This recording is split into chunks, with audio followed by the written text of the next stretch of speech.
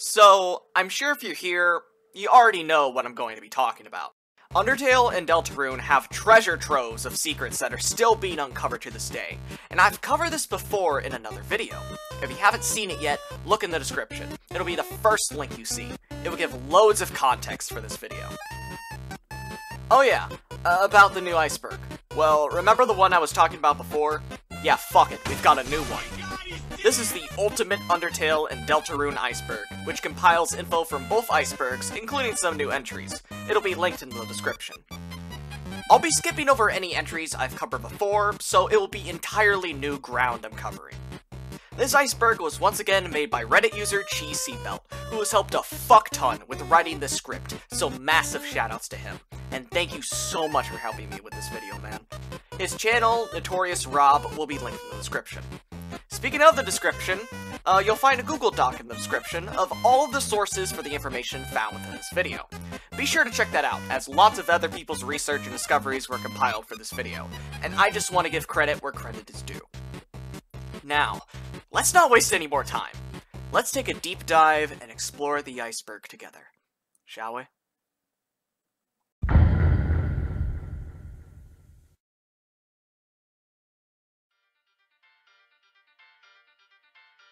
Song that might play when you fight Sans. This is probably the most well-known secret in all of Undertale. Which doesn't really make it a secret now, does it? The song that might play when you fight Sans is an unused track that, for all intents and purposes, is a song that may or may not play when you fight Sans. This song is not in the game files, it's only included in soundtrack releases. This track was most likely made to troll players into thinking that Sans is fightable in other routes other than Genocide. Jevil Fight. Jevil is Deltarune's secret boss you can access after obtaining all three pieces of a broken key and then going to the lowest level of Card Castle to face him.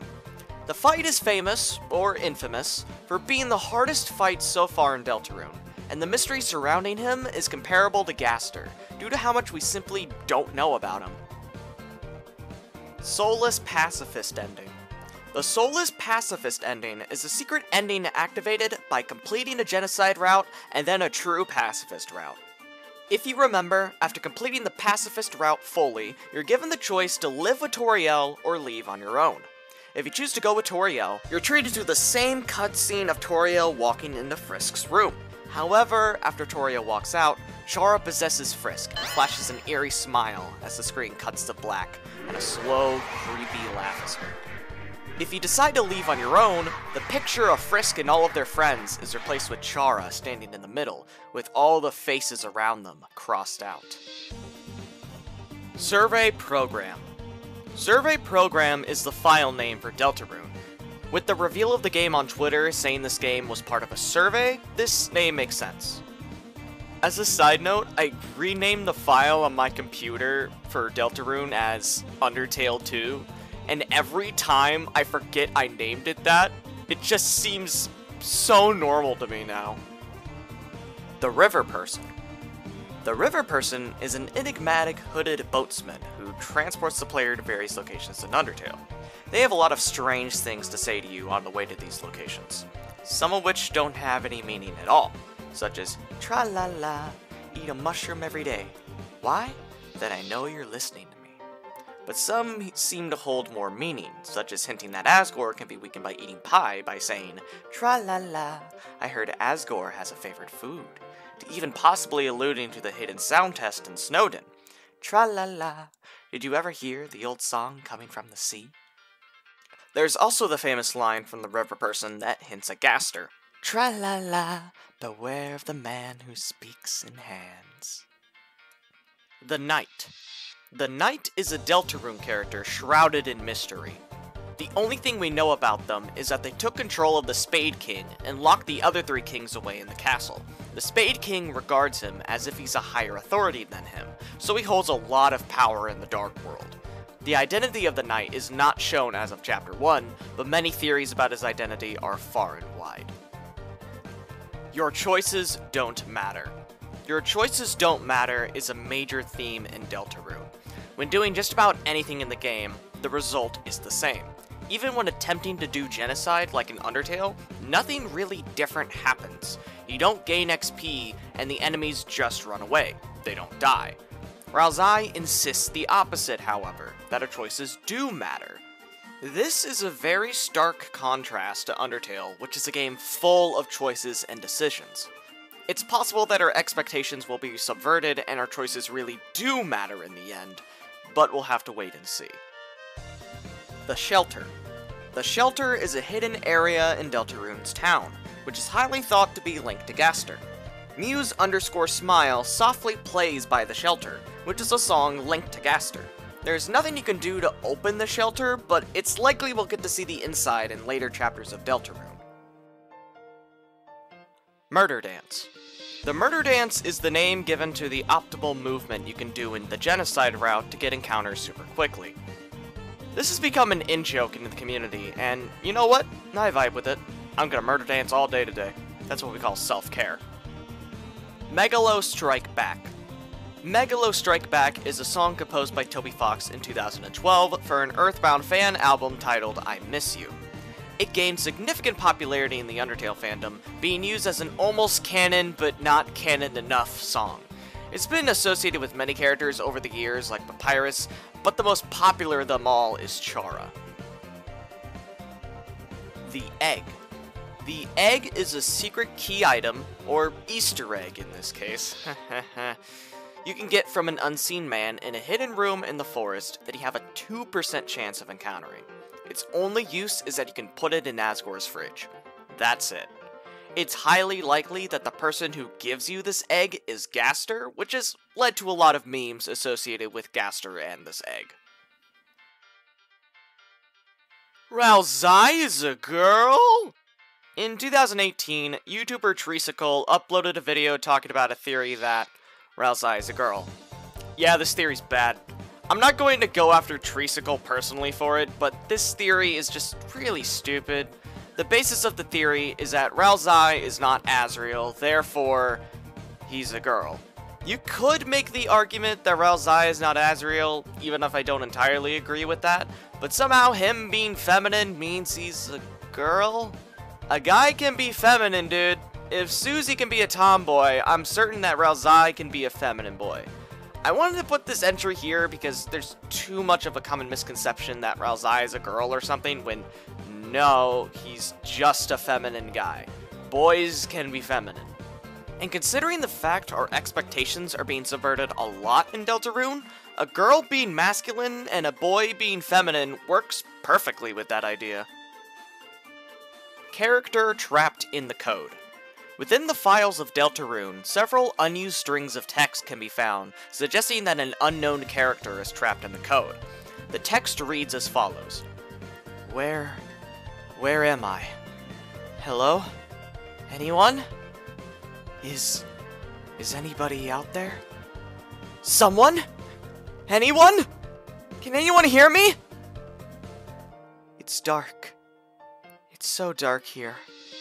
Someone. Anyone, if you can hear me, say something. Please. But Nobody Came sped up. If you speed up the song but Nobody Came by 1200%, you will hear a small snippet of Your Best Friend. Once again, Toby is proving to us that he only wrote about 5 songs for this game. The Angel. The Angel in Undertale is a prophecy about how the underground will go empty with the return of an angel from the surface. Many people link this prophecy to True Pacifist and Genocide route, where an angel from the surface empties the underground. However, neither of these routes totally line up with the prophecy, but I'll touch on that later. The angel is Noelle. The upcoming Chapter 2 screenshots show Noelle donning an angel outfit, complete with wings. This seemingly implies that she has connections to the angel from the prophecy, but it could also just be a reference to the angel doll that she made, which could also be linked to the prophecy. Secret Snowdin Door. On the very east side of Snowdin Town, there's a large secret door. By dodging all of the Kickstarter credits, you can unlock the door, revealing a small white annoying dog who has somehow coded the entire game. There's no real purpose to this room other than being an Easter egg. However, one thing to note is that the door showcases the Deltarune symbol, and the annoying dog within the room is supposedly working hard, and... well... The mayor is Noelle's mom. This is a theory proposing the idea that Noelle's mom is the mayor of Deltarune's town. The mayor is very busy, and Noelle says that her mom doesn't like to be bothered while she's working. She also lives in the biggest house in the town, perhaps signifying the power that she holds. The AC in her office is always on full blast, which would be fitting for a monster that usually lives in cold climates, like a reindeer. Sans Undertale meme. A meme that was popular several years ago. It was a bait and switch of the character being shown on screen, being replaced with Sans and his trademark blue eye as Megalovania plays. Christopher Moon. You've probably seen this name on many Undertale YouTube videos. He's the Justin Y of Undertale YouTube comments. He even commented on my last video. Hi, Chris. Elu Tran. Speaking of famous Undertale YouTubers, this guy uploaded the entire Undertale soundtrack, and he's got tens of millions of views from it. If you look up Undertale, you're bound to find this guy. And, uh, he's kind of tired of hearing it. Go check him out to hear him info dump about Bug Fables. And also, please check out Bug Fables, it's really good. Typing characters' names when choosing your name. If you type in a character's name on the Choose Your Name screen of Undertale, some funny dialogue will show up, mostly the characters telling you that you can't steal their names. Except for Papyrus. He'll allow it. Flowey calling you out after going back from killing Toriel. If you kill Toriel, then reload right after, Flowey will straight up call you out on it. This is one of the most iconic examples of the game fucking with you. And this definitely happened to me too, and definitely got me more invested to play the full game. Pizza Call. If your fun value is between 46 and 50, Alphys will call you in the middle of Snowdin to buy a pizza, but instead accidentally sends ASCII art of an anime cat girl. Bruh. Sans Refrigerator Call. If your fun value is between 40 and 45, Sans will prank call you in the middle of Snowdin to ask if your refrigerator is running. Typical Sans. Hello? Can I speak to G? If your fun value is between 2 and 39, you will get a call from an unknown character in the same location. They'll say, Hello, can I speak to G? Then realize they dialed the wrong number. Then sing the wrong number song. It's heavily debated who this G is referring to, but most suspect it's Gaster.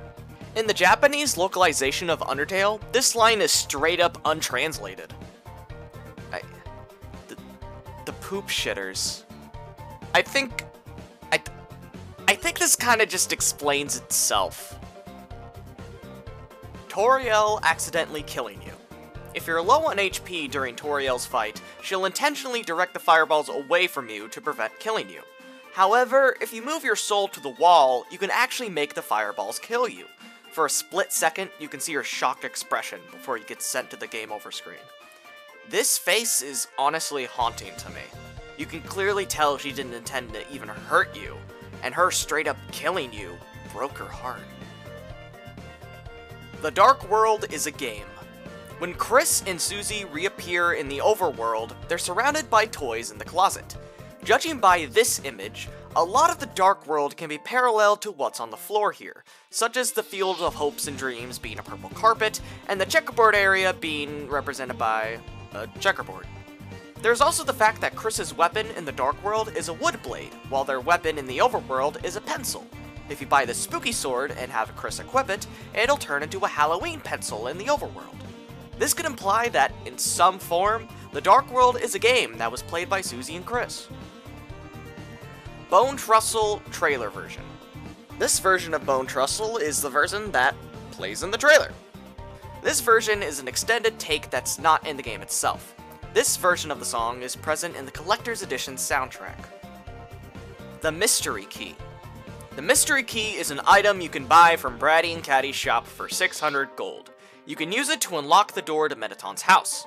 Once inside, you can find five separate diaries that Mettaton used, detailing the beginning of the development of his robot body and his friendship with Alphys. Ralsei blushing when near Kris. Chris stands near Ralsei for a few seconds. Ralsei will start blushing. Seam referencing Gaster. After defeating Jevil and returning to Seam's shop, he will tell you that he was forced to lock Jevil away. This is what he had to say about this. As the court mage and his only companion, I was forced to lock him away. Or rather, lock us all away, in his own words. Since that time, the strange words he said have stuck inside my cotton, and my view of this world has become darker, yet darker. When does Undertale take place? The time period of Undertale is not something that's discussed too often, but it's still a topic worth bringing up. The only two things we know for sure is that Chara fell in 2001X, and the trophy in Asgore's house says 98, possibly implying that he won the trophy in 1998. However, a few things don't make sense. Papyrus's undernet name is CoolDude95, and Undyne's undernet name is CoolFish91. Now, with usernames like those, most of the time, the username correlates with the user's birth date. It wouldn't make sense for Papyrus and Undyne to be born in the 1990s. They weren't alive during Chara's time, and they don't even recognize Toriel when they first see her. So, what if they're born during the 2090s? This sounds ridiculous, but remember that Asgore and Toriel are boss monsters. They're said to live for hundreds of years at a time. Sans implies that Toriel has been in the ruins for a hundred years, saying that when he told her a joke, she howled for a long time, like it's the best joke she's heard in a hundred years. So, I think it's safe to assume that Undertale takes place around 100 years after Chara fell down, or around 2100 or 2110x. Blue Attack's color change. The color of the blue attacks was changed to a deeper shade of blue in version 1.001 to help colorblind players see them better.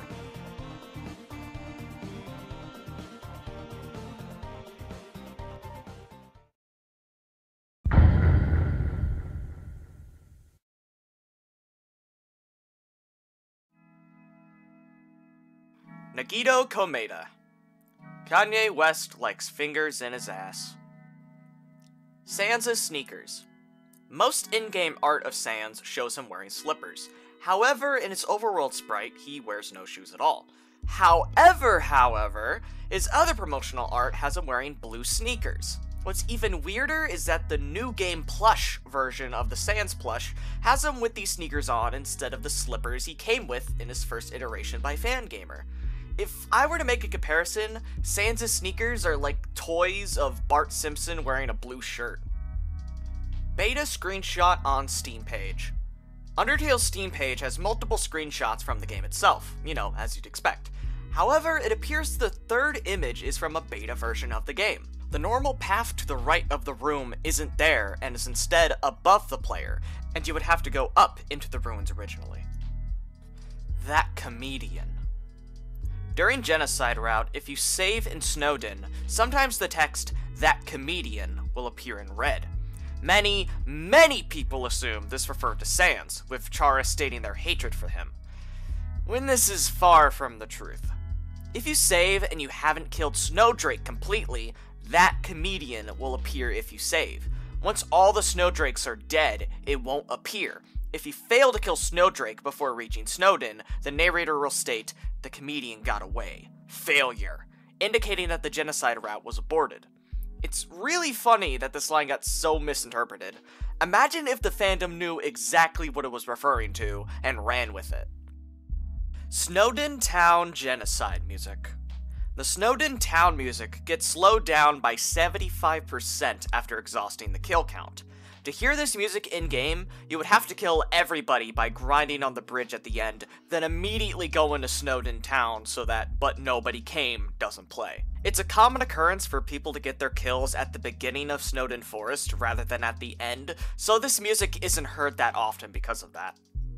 Shyren Tile The Shyren Tile is a seemingly discolored event tile, since you encounter Shyren as soon as you step on it.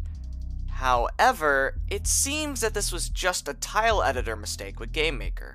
The Shyren encounter is actually based on step count, and it seems to line up with the amount of steps it takes to touch this tile. Strangely enough, there seems to be a lot of discolored tiles in Undertale. Sans and Papyrus come from Deltarune. This is a popular theory that Sans and Papyrus don't originate from Undertale's world, but from Deltarune's world. Not only does Sans have deep connections to Deltarune's Dark World, as explained in the last video, but remember when Snowdin's shopkeeper explained the two simply showed up one day? What if this means the Bone Brothers simply came from another world entirely? Naming yourself Gaster. If you name yourself Gaster at the start of the game, it simply boots you back to the intro. Undertale the Musical. At Mettaton's One True Love performance, the game's window will be renamed to Undertale the Musical, not to be confused with the unofficial musical. Which segues to Undertale the Musical. Undertale the Musical is a series created by Man on the Internet that takes the OST of Undertale and turns it into a musical. It's beautiful. If you haven't listened to it already, please do. After you watch this video, of course. Man on the Internet also created some musical songs for Deltarune, so check those out too. Sense of Deja Vu. At certain points in the game, if you reset or reload, characters in the game will say that Frisk seems familiar to them, despite the fact that they've technically never seen them before. This applies to Toriel, Papyrus, Undyne, and Alphys. I'll read one of the instances of that happening here. When Toriel asks you what flavor of pie you want, if you reset or reload, she'll say this. Cinnamon or butterscotch? Wait, do not tell me. Is it butterscotch? If you say yes, it continues as, hee I had a feeling. When humans fall down here, uh, strangely, I... I often feel like I already know them. Truthfully, when I first saw you, I felt like I was seeing an old friend for the first time. Strange, is it not? Well, thank you for your selection. Hard Mode Flying Suplex. Fairly recently, on February 23rd, 2021, Toby Fox tweeted out this. I don't know if I ever mentioned this, but originally at the end of Undertale's hard mode, when Toriel hugged you goodbye in the ruins, there was a pause, then it turned into a flying suplex, a Zuna drop, which exploded when she hit the ground. I didn't do this though. References in Henry Stickmin. The Henry Stickmin collection is... well, I don't even need to introduce you to this game, do I? Most of you probably already know of the reference I'm going to talk about. But for those who don't know, the Henry Stickmin Collection is a point-and-click adventure game that is a collection of all of Henry's Flash game adventures and ties it up into a professional package. The game is known for including pop culture and meme references within it, and Undertale is no exception. In completing the mission's pathway, Little Nest Egg, Henry breaks into a train and soon runs into the train's conductor, Mr. Macbeth. Henry enters an Undertale-like battle to fight Mr. Macbeth. There's a song that plays here reminiscent of Metal Crusher, which is titled Tickets Please. If you choose to fight, Macbeth fills Henry full of bullets. The fail text then says, seeing the conductor riddle you with bullets, it fills you with determination. There's one more slightly obscure reference to Undertale in this game.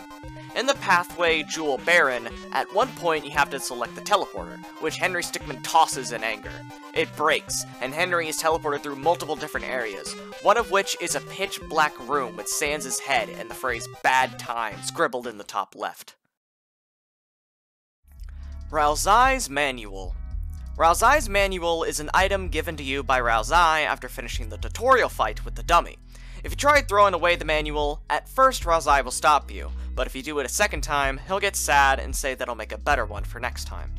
You can never actually read the manual in-game, but it can be found within the assets.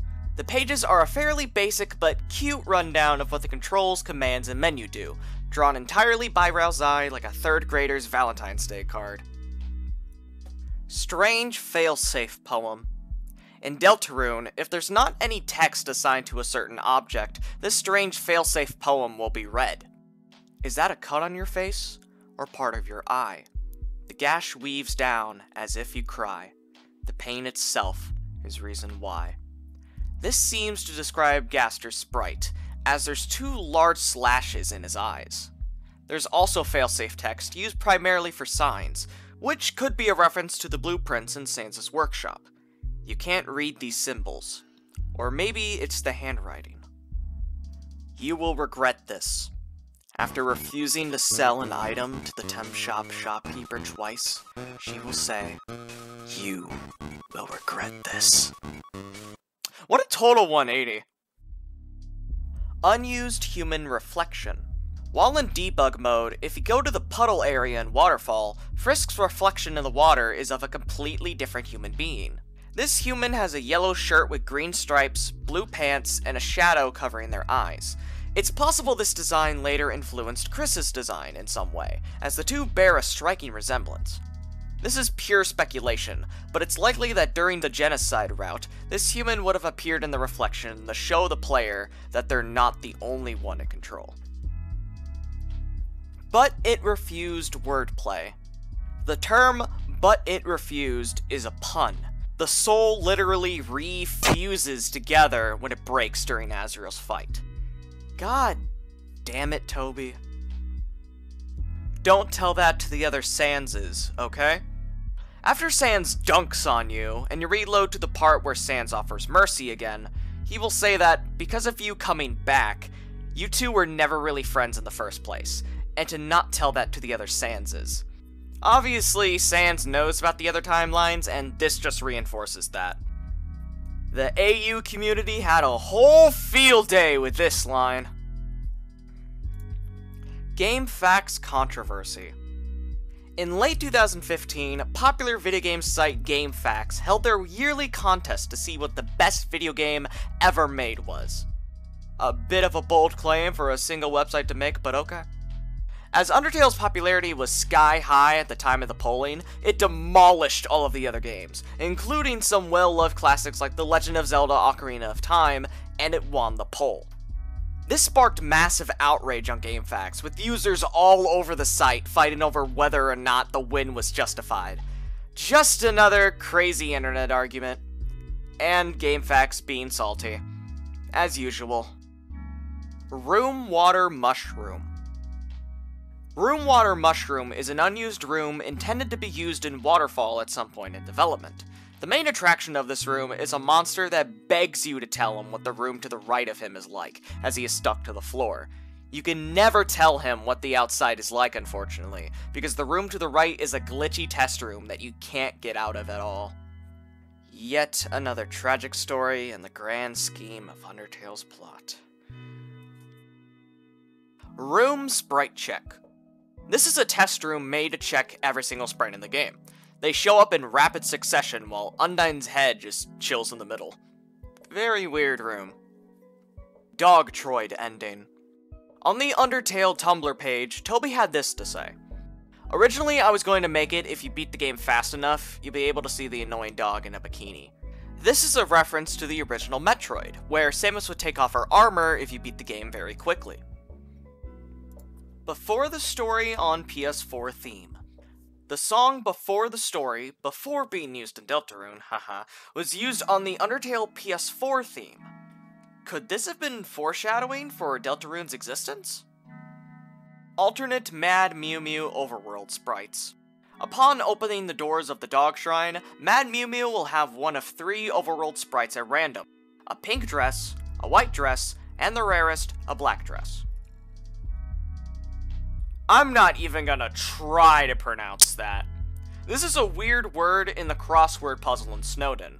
What's even weirder is that it's spelt incorrectly on the search word itself, with the E replaced with a U. I guess Sans was right when he said it was unsolvable. The red soul is not Kris's soul. There is a load of evidence to suggest that Kris's soul is not their own. The biggest piece of evidence is during the ending to the first chapter of Deltarune the player can still control the red soul in the cage, and Kris is acting on their own. However, it seems to run much deeper. Take a look at this damn description for Kris in the Dark World. Body contains a human soul. A human soul. Not their human soul. Characters around town also mention that Kris seems to have been acting off lately, and not like themselves. If they're being controlled by a separate human soul, then this would make sense. Kris also seems to know more things than they should. This would imply that the soul knows more than Kris does.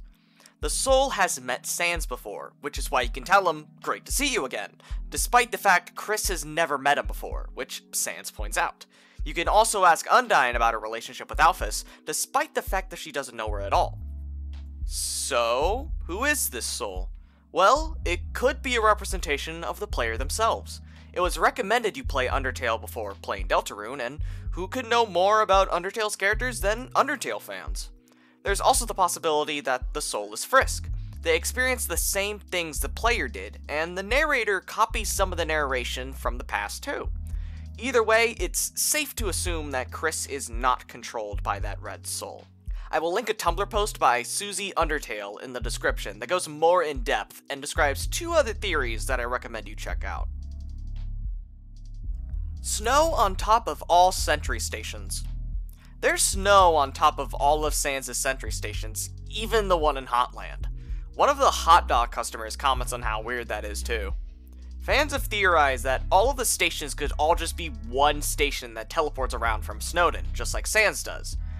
Or it could be an excuse to not sprite multiple sentry stations. Either way, it's lazy, so it fits Sans.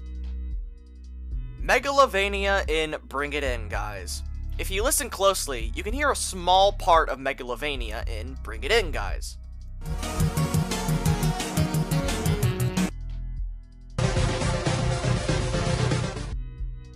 Dusty toys have Asriel's dust on them. If you read in the library, it's said that a monster's dust is spread on their favorite thing when they die. And when you check the plushies in New Home, it says the toys are dusty. Does this mean that the toys have Asriel's dust? Not exactly. Asriel's dust was spread on the flowers in Asgore's throne room, and one of them would eventually become Flowey. But it's not impossible to say that they decided to scoop up some of his dust and put it on his toys. Rock Candy. Rock Candy is an unused item that heals 1 HP.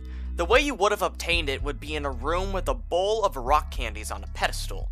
If you try to take all of the candies, you can't, as the weight of the rock candy is so heavy you can only take one.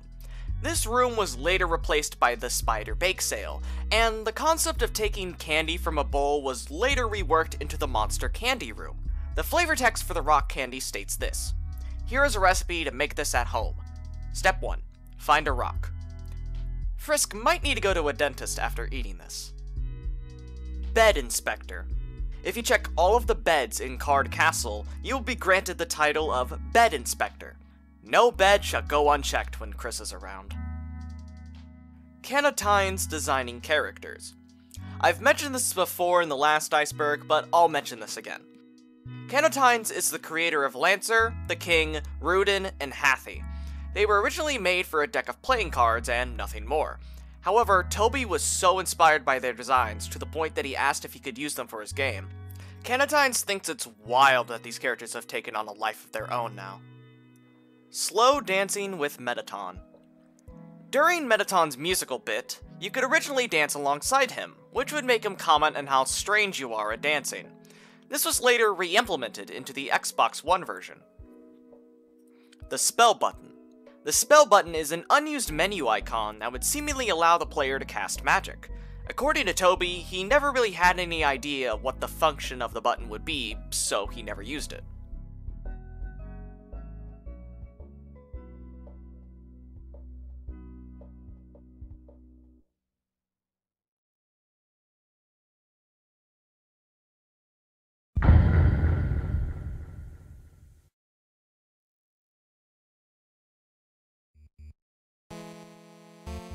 ABC News. During a report about their alphabet slowing down in China, Sans's theme plays. With some mild fluctuations.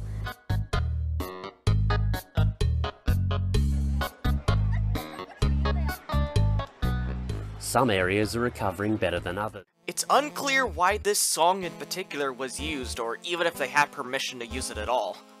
But I highly doubt it. Undertale.com HTML message. In the HTML code of Undertale.com, a hidden message can be found that states, What are you doing? Looking for secrets? Don't put your nose where it doesn't belong, or you might learn something you don't like. Hee hee hee. Open coffins and mummy wrappings. After Asriel's fight, all the coffins in Asgore's basement open up, except for the red one. When you check it at this point, the narrator says, You didn't notice before, but there's something inside. Mummy wrappings are at the bottom of it.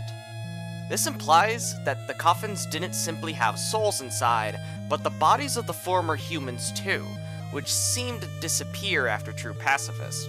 Which doesn't make too much sense, but I'll let it slide. It's possible that the human souls went free after the barrier broke, and this is the game's way of symbolizing that, which makes sense.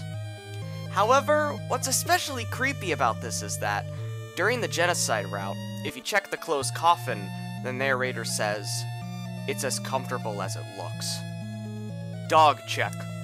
If the player tries to edit their save file and it corrupts in some fashion, you appear in an error handling room named Dog Check.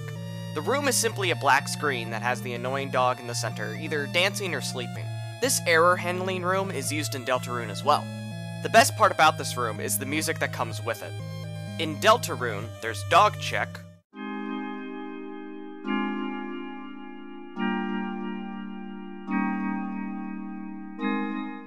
and in Undertale, there's Sigh of Dog,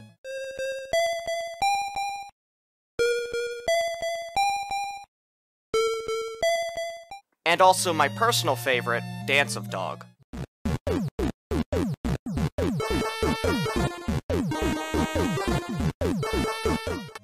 You surely would have been blasted too. Added in version 1.001, Papyrus says this line while giving you a room tour after sparing him in a genocide route. This quote implies that Sans isn't the only one who can use the Gaster Blasters, Papyrus can too. Even further evidence that Papyrus can use Gaster Blasters is on page 28 of the art book, where it shows a skull shaped object in his box of weapons, and written above it it says, probably not a skull. Wasn't for that annoying dog. You're really kind of a freak, huh? Upon reloading your save after killing Sans twice, he will say, That expression you're wearing. You're really kind of a freak, huh? Beating Asgore in one hit. This is an unused goof, as Toby puts it. Originally, if you somehow beat Asgore in one hit, Flowey would chill up and look super surprised. He'd say, uh, you win? Before burrowing into the ground, and goofy sitcom music would play as the credits roll. What's interesting about this is that there are actually unused sprites for Flowey in the final game that seem to reference this cut ending. Empty House. Empty House is a track that plays when going back into Toriel's house after killing her. What's weird is that, despite being listed in the demo OST and being featured in the final game, it's not actually listed anywhere in the final soundtrack. Purple guy! When you talk to Burger Pants outside of ICE's Pizza, he'll mention this about one of the mascot characters standing outside. Purple guy. Man, that guy. You gotta. Actually, does that guy even work here? If you know anything about Five Nights at Freddy's, this seems to be a direct reference to that series. Not only is a character named Purple Guy supposedly working at a pizza place, he's also wearing a mascot costume, just like William Afton is known to do. Jevils' voice actor is Toby. One thing people haven't been able to get a concrete answer of is who Jevils' voice actor is. It's not even in the credits. The only credible theory, it seems, is that it's Toby Fox himself voicing Jevil. Both the English and Japanese voice lines for Jevil sound like they were done by the same actor, and Toby is known to have learned Japanese. I can do anything. Flowey's Japanese voice actor has also been confirmed to be Toby, and Flowey's Japanese voice sounds similar to Jevil's voice. Photoshop Flowey name confusion. Despite most people calling Flowey's all powerful form Omega Flowey, the actual name for this form is Photoshop Flowey. However, this form has yet another name. In the game's files, his sprites are named Flowey X. So, what name is canon? It's ultimately up to personal preference, but Omega Flowey has become his unofficial name with fans, and even his official tarot card names him Omega Flowey. Sans Mii Hand Change. On April 4th, 2020, Sakurai tweeted out a picture of Sans' Mii costume. However, people quickly noticed that the model had a different hand than the final product, which had weird looking fingers. Ugh. Toby later commented that he requested they change the fingers to a mitten like hand instead. And honestly, that's for the better. The Spade Queen. The Spade Queen, or just the Queen as referred to by Jevil, is an unseen character that is only spoken of by Jevil after beating him with violence. He states that the Queen will return soon, so it could be possible she'll appear in Chapter 2, or at least in another future chapter. Alarm Clock App The Undertale Alarm Clock app was the ill-fated $32,500 stretch goal for the Kickstarter. Development on this app was paused for various reasons, with one of them being that Toby wanted to work on Deltarune instead. However, the finished dialogue for the clock app was posted online on Undertale's 5 year anniversary, which gave some nice details that I may or may not have discussed before. My favorite piece of trivia we learned from this is that Sans canonically did the Fortnite default dance during a soccer game, and Alphys told him that was cringe culture. That that's real. That's not a meme. It's not a meme, that's real. Lab Monitor on Mac. On the Mac version of Undertale, when you enter Alphys' lab, sometimes, rather than showing the human walking around on Alphys' monitor, it shows a static image of the human staring right into the screen. Creepy, huh? It's possible this is just a glitch with the Mac version, but who knows at this point. Megalovania is the player's theme. People commonly associate Megalovania with Sans, and they have good reason to. But it might not even be his battle theme at all. First off, Sans attacks you first, as opposed to any other fight in the game where it's your turn first. This could be symbolism that you are the boss in this fight, as you're the villain in this scenario. Also consider Megalovania's name. A megalomaniac is someone who is obsessed with power and dominating others. This title doesn't fit Sans at all, but it does fit for the player. That the player is focused on nothing but killing every monster they come across, and with every kill, their power grows stronger. Chara explains this to the player at the end of Genocide. You could also argue that Megalovania would also fit Chara for this exact same reason, as they become very power hungry during Genocide. Alphys' Crush in Code. If you look in the game's code in the string of Mettaton's question, who does Alphys have a crush on, you'll find the text, LOL, if you came to this part of the code to see who I have a crush on, you're out of luck. This is fairly interesting because nearly no other character in Undertale is able to directly talk in the code and refer to it as such. Most likely this is merely a joke to poke fun at the data miners who were snooping in here, but it's food for thought. Muse King Description Muse King Description is an unused track for, as Toby puts it, when Asgore is being described. It's a more regal sounding version of the Determination theme, which definitely fits a king.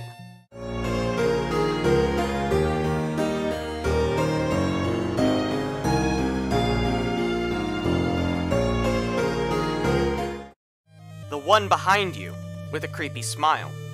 This is a quote by a monster in a cut room in Waterfall. They point out that a strange friend with a creepy smile is behind Frisk, who then disappears. As Frisk is in tall grass, you can't actually see if this mysterious friend is there or not. This friend could either be Chara or Gaster, as both share a smile and both could realistically be following Frisk around.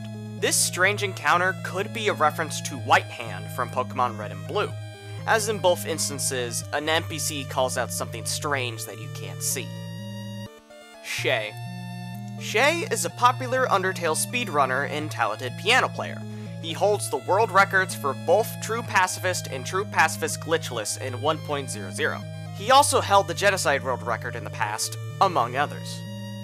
Hotland Tree and Puddle.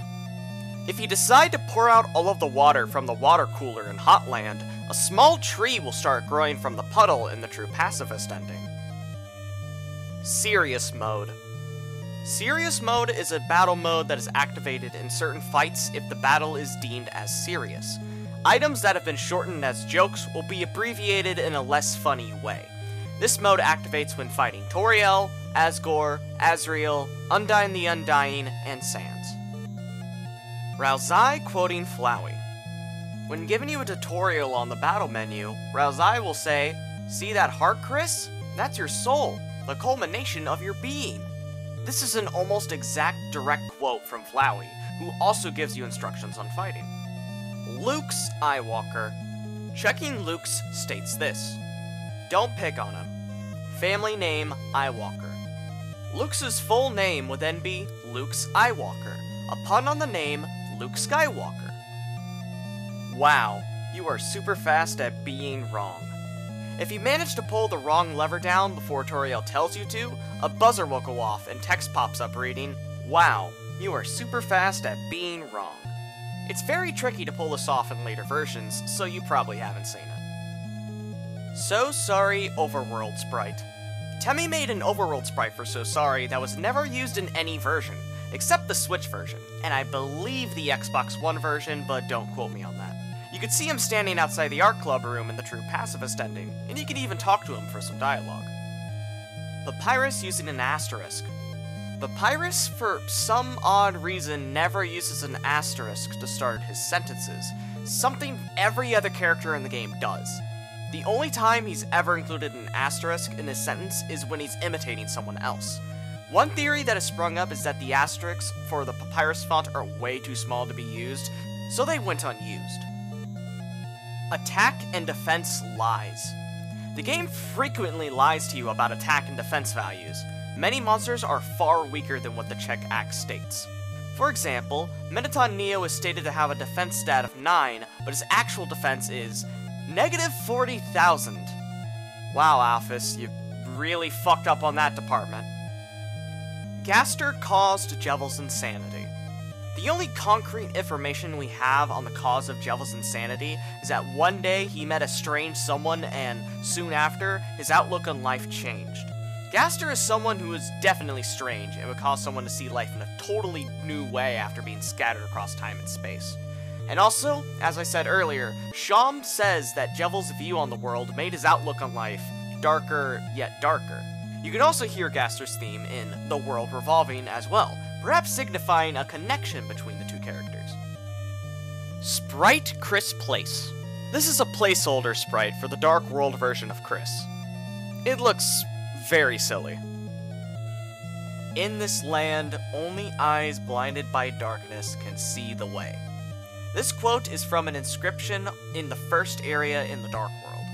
It may be referring to how almost all the main characters in the Dark World have their eyes shadowed out. Might have some significance later, but who knows. Mettaton hired Muffet. This series states how Mettaton hired Muffet to kill you.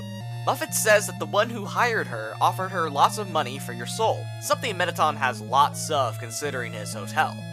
She also said they had a sweet smile and changed shape, something Mettaton is definitely known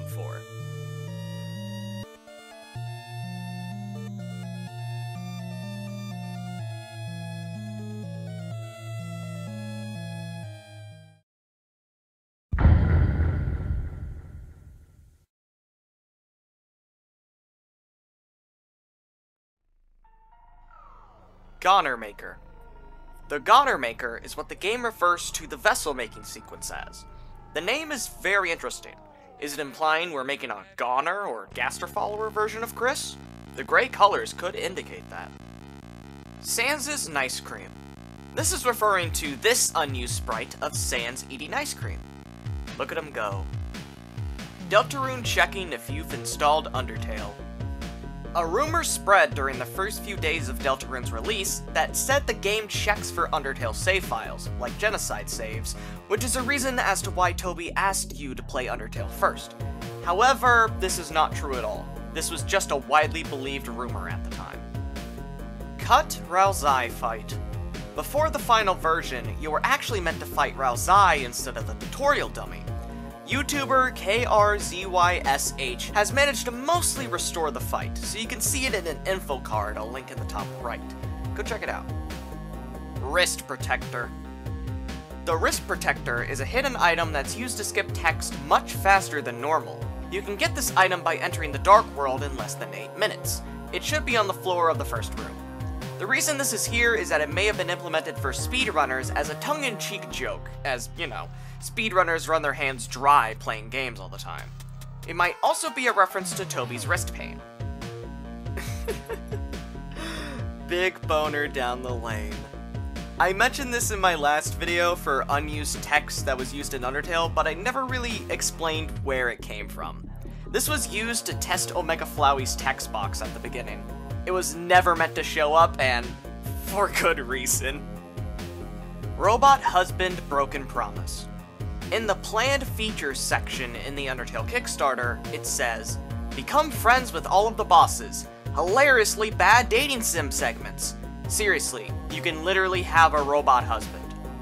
It might be obvious, but at no point in the game can you date Mettaton, nor have him become your husband. However, this might have been added at some point, so it wasn't an entirely empty promise. The main menu theme has six variations which play depending on where you are in the game and how many characters you've befriended. Another variation exists in the game files between the 5th and 6th used songs, suggesting there was meant to be a dating sequence with the 7th character.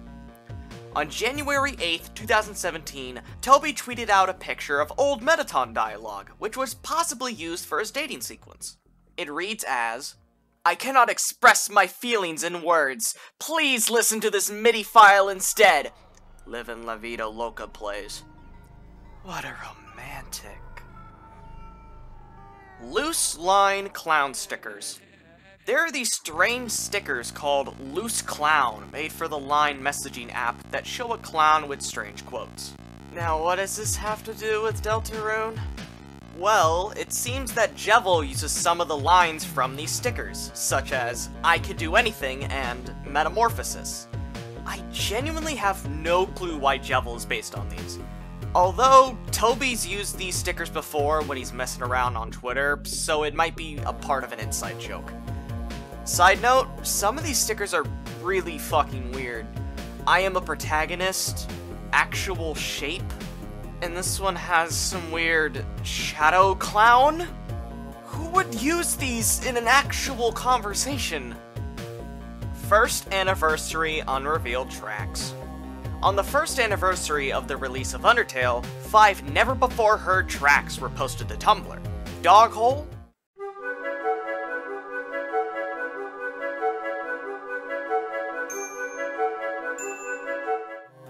Dogtroid,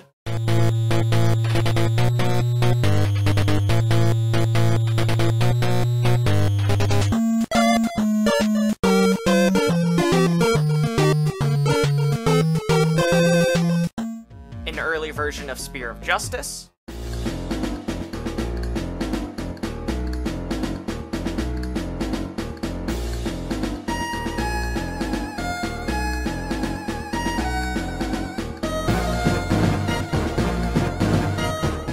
an early version of Undertale,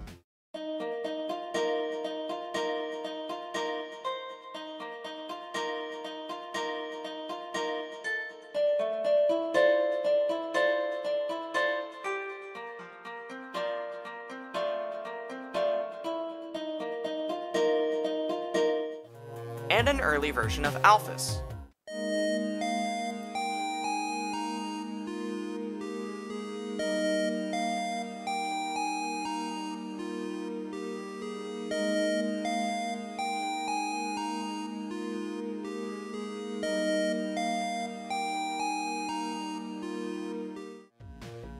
Factors went into why these early versions were scrapped or reworked, such as sounding too similar to other songs or not fitting the characters' personalities. No one is really sure why Doghole was scrapped though. Maybe it was an early version of the theme for the Hidden Room and Waterfall? Pruncell. Fairly recently, Tumblr user TammyCat made this post. I had a dream I was playing Undertale and I got to the snowy area and it was mostly the same, but Papyrus was replaced with this new character, Pruncell. Pruncell's sprite was a highly contrast black and white photorealistic eyeball, roughly twice as big as Papyrus, and looking directly at the viewer. Whenever Pruncell spoke, the music completely cut out, and instead of text, it was an ominous red glow emanating from the text box. Tammy Cat even made a picture to show what her dream was.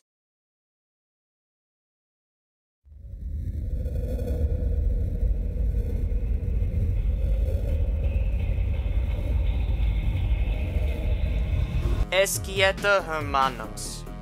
I'm so sorry, Spanish speaking viewers. In Guacamelee 2, a Mexican culture-inspired Metroidvania, there's an Undertale reference. Luchador parodies of Sands of Papyrus are shown on a poster in the game. Esqueto Hermanos means skeleton brothers for all my English-speaking homies out there. Magic Glass. In 2015, Toby tweeted out this set of posts. Bug. This character can walk over pits while following you. Walk around? My solution! Magic glass that appears when they walk over pits! Tester. You can sort of clip out of bounds here harmlessly. Me. Looks like it's time for magical glass. Magical glass floor that appears only when you step on it, the solution to every game dev problem. I don't like this character very much. Magical glass floor that replaces the character you don't like when you step on it. This whole game isn't good. Magical glass that covers up the whole game when you step on it. Magic Glass kind of became a meme after this for a while, but only for a short bit. Intro Loox. In the Undertale demo, and before Photoshop Flowey's boss fight, the boss monster that normally appears in the intro is replaced with a monster that looks like Loox. Test Monster. This is the first monster ever coded into Undertale. It's an early version of Froggit. You can even see this guy in the first battle screenshot for Underbound 2. Dog Command. The dog command is an unused command you can only see in the inaccessible manual. They are described in the manual as, a dog has eaten your commands. You can't do anything for the rest of your life. Homestuck references. There are many Homestuck references in Undertale, specifically because Toby Fox was not only a fan, but a contributor to Homestuck for a while. Fun fact, most of Undertale was coded in Andrew Hussie's basement. The monster Aaron could be a reference to Equius and his lusus, especially because of his relationship with a cat-like character. Pyrope's name is a direct reference to Terezi Pyrope's name. The hard mode monster, Migospel, largely resembles Gamzee Makara in both appearance and behavior, with both of them honking quite a bit. There's also a monster in the Mettaton Resort that looks remarkably like Jade Harley. The areas in Undertale could also be inspired by various areas in Homestuck. The ruins resemble the Kingdom of Darkness, Waterfall resembles the Land of Wind and Shade, and Hotland resembles the Land of Heat and Clockwork. And we're still not done. A lot of songs in Undertale include references to Homestuck, but I'll only be going over the one big one. And no, I'm not talking about Megalovania. The song Another Medium is based off an unused Homestuck song titled Patient. The name Another Medium could be a reference to The Medium, one of the spaces where the comic takes place. We'll get more into Patient further down in the iceberg. There's definitely more references between the two series, but I, I think that's enough Homestuck for me in one lifetime. You just remembered something funny. In Alphys's lab, there's a bag of dog food you can inspect. Depending on your actions up to this point, the flavor text will be different. If you've been a pacifist up to this point, the text will state, it's a bag of dog food, it's half full. If you've killed a single monster, it will state, it's a half-empty bag of dog food. Notice the narrator's pessimistic change. When you kill all of the dogs in Snowdin and have a kill count of at least 21, the narrator will state, it's a half-empty bag of dog food. You just remembered something funny. The fact something like this even happens is remarkable attention to detail, and is just further proof that Chara is the narrator. Genocide really seems to warp their mind. Unused Sans attacks. Sans has some unused attacks, and unlike Mettaton Neo's unused attacks, these are actually unique. Upon looking at some of them, you can tell why they went unused. I mean, just just look at this. How is this fair? However, what's more interesting is that three of these attacks are named Hell variants, which are harder versions of Sans's normal attacks. Is this possibly what Sans's hard mode fight would have been like? Undyne's cracked armor. Toby states in this tweet, if Undyne jumps off the cliff to save Monster Kid, when you fight her, her HP's lowered. I wanted to have her armor cracked too, but I forgot. No head is connected, no body is connected. In the Xbox port of Undertale, if the controller becomes disconnected, sometimes a funny message will show up. In the True Lab, however, this appears. I would not want to be the first person to encounter this. I'm a goofy goober, yeah, this error message. There's an error message Burger Pants can say if something goes wrong, which says exactly that. Spiders are cannibals. The Spider Bake Sale advertisement says, Come eat food made by spiders, for spiders, of spiders. This implies so many wrong things. This means spiders eat their own kind. And nobody in the game really sees anything wrong with this. Lancer's stomach mouth. In Kanotynes' artwork of Lancer, he is depicted as having a mouth on the stomach, but in-game you never see it. The king has a mouth stomach, so is this something the Lancer will get when he grows up, or what? Monster History Part 6, 7, and 8. This is three sets of unused text that was originally meant to be read in the library in Snowdin. It goes into a monster state when falling down, how powerful monsters get when absorbing human souls, and boss monsters' souls being the exception to the rule of souls disappearing immediately upon death. Ralsei is not what he seems. This is a long theory by Reddit user Craft, but I'll try to summarize it as best as I can. There's a bit of evidence to suggest that Ralsei is actually a lightener and not a darkener. For one, his actual appearance without the black outfit is very white, probably indicating he's a lightener. There's no actual proof he's the prince from the dark either. The prophecy shows the human, the monster, and the prince from the dark, and while Kris and Susie are spitting images, Ralsei isn't, possibly being a hint that Ralsei isn't actually the prince. It's also apparent that Ralsei is mirroring Flowey in many ways. Both of them have a belief they try to force onto others, with Flowey's being kill or be killed, and Ralsei's being to always be a pacifist. One comment by Reddit user ETBuilder also mentions how Ralsei acts absolutely cutesy and perfect, and his character doesn't change much, if at all, by the end of the first chapter. Meanwhile, Lancer and Susie both go through an entire character arc. ETBuilder says this was done intentionally for a twist later down the line that will show that Ralsei is building up a facade with a cutesy exterior. That sounds very in line with Undertale's and Deltarune's writing. Planned Thrash Machine Fight. There's an unused song in Deltarune titled Thrash Rating that sounds a lot like a battle theme. It was probably meant for a battle against the Thrash Machine.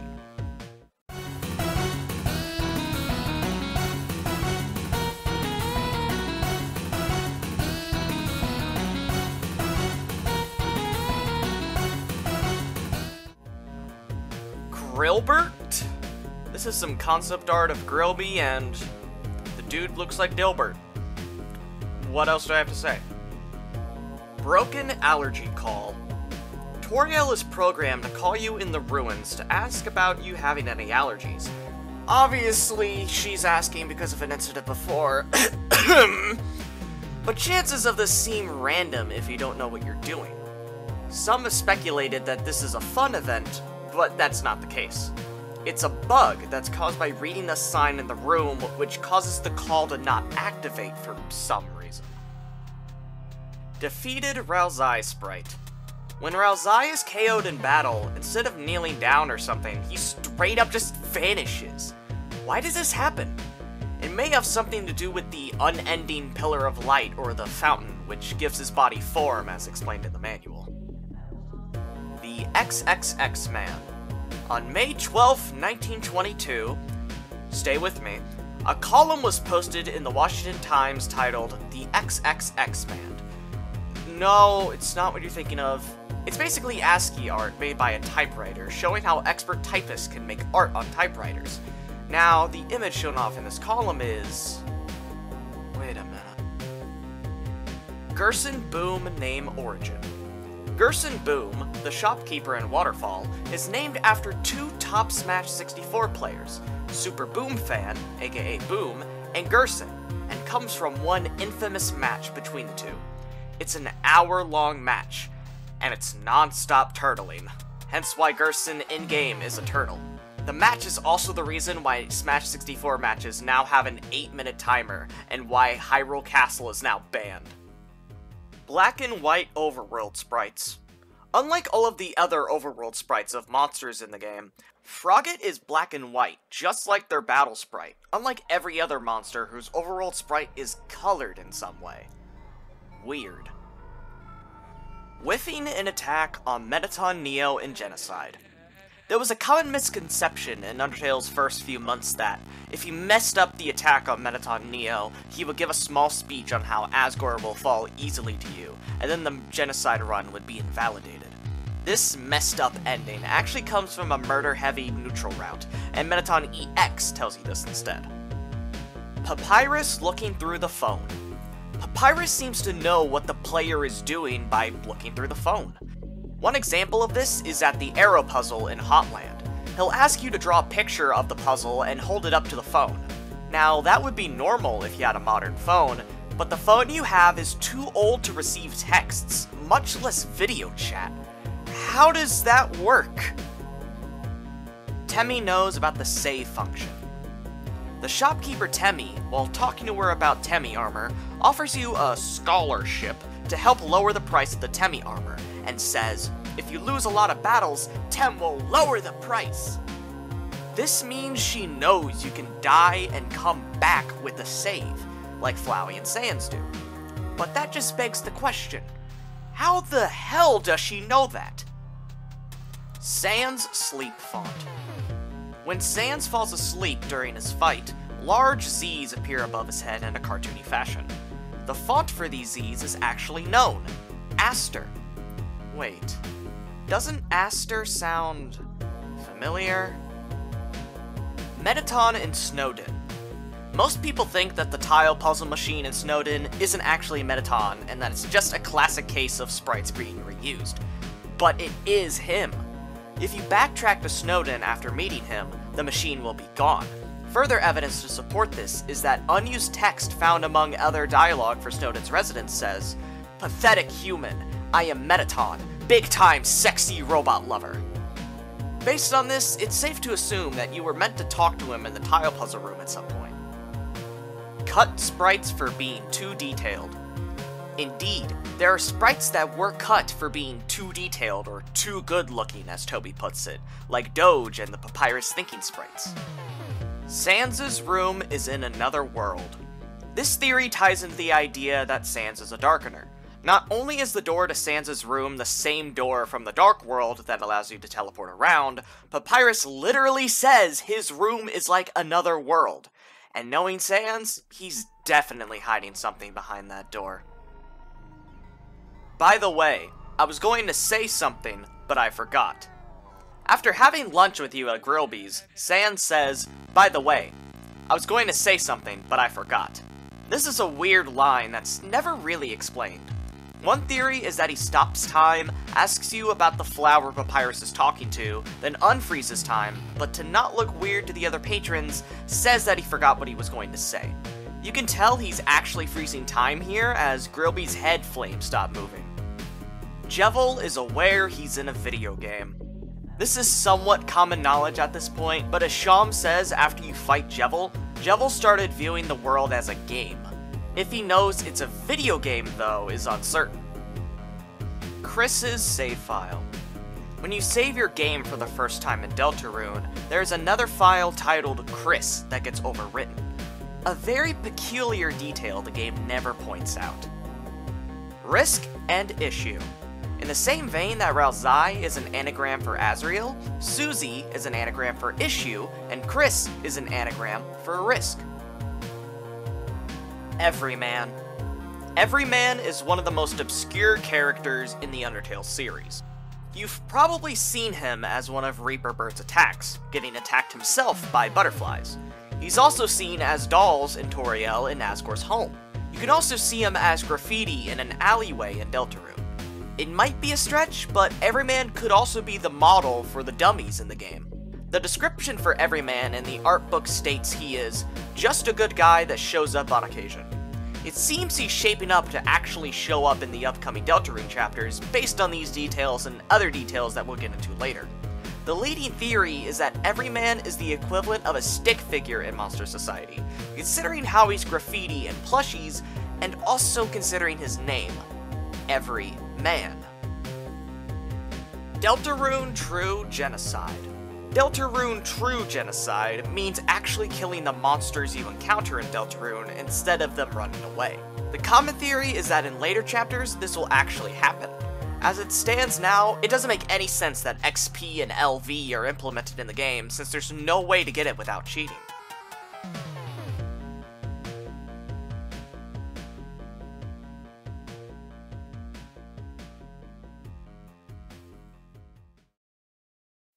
Okay, so really quick side note before I get into the next layer. The next layer will not be narrated by me, but by CheeseSeatbelt, the creator of the iceberg. So if it sounds like my balls dropped, yeah, it's CheeseSeatbelt talking.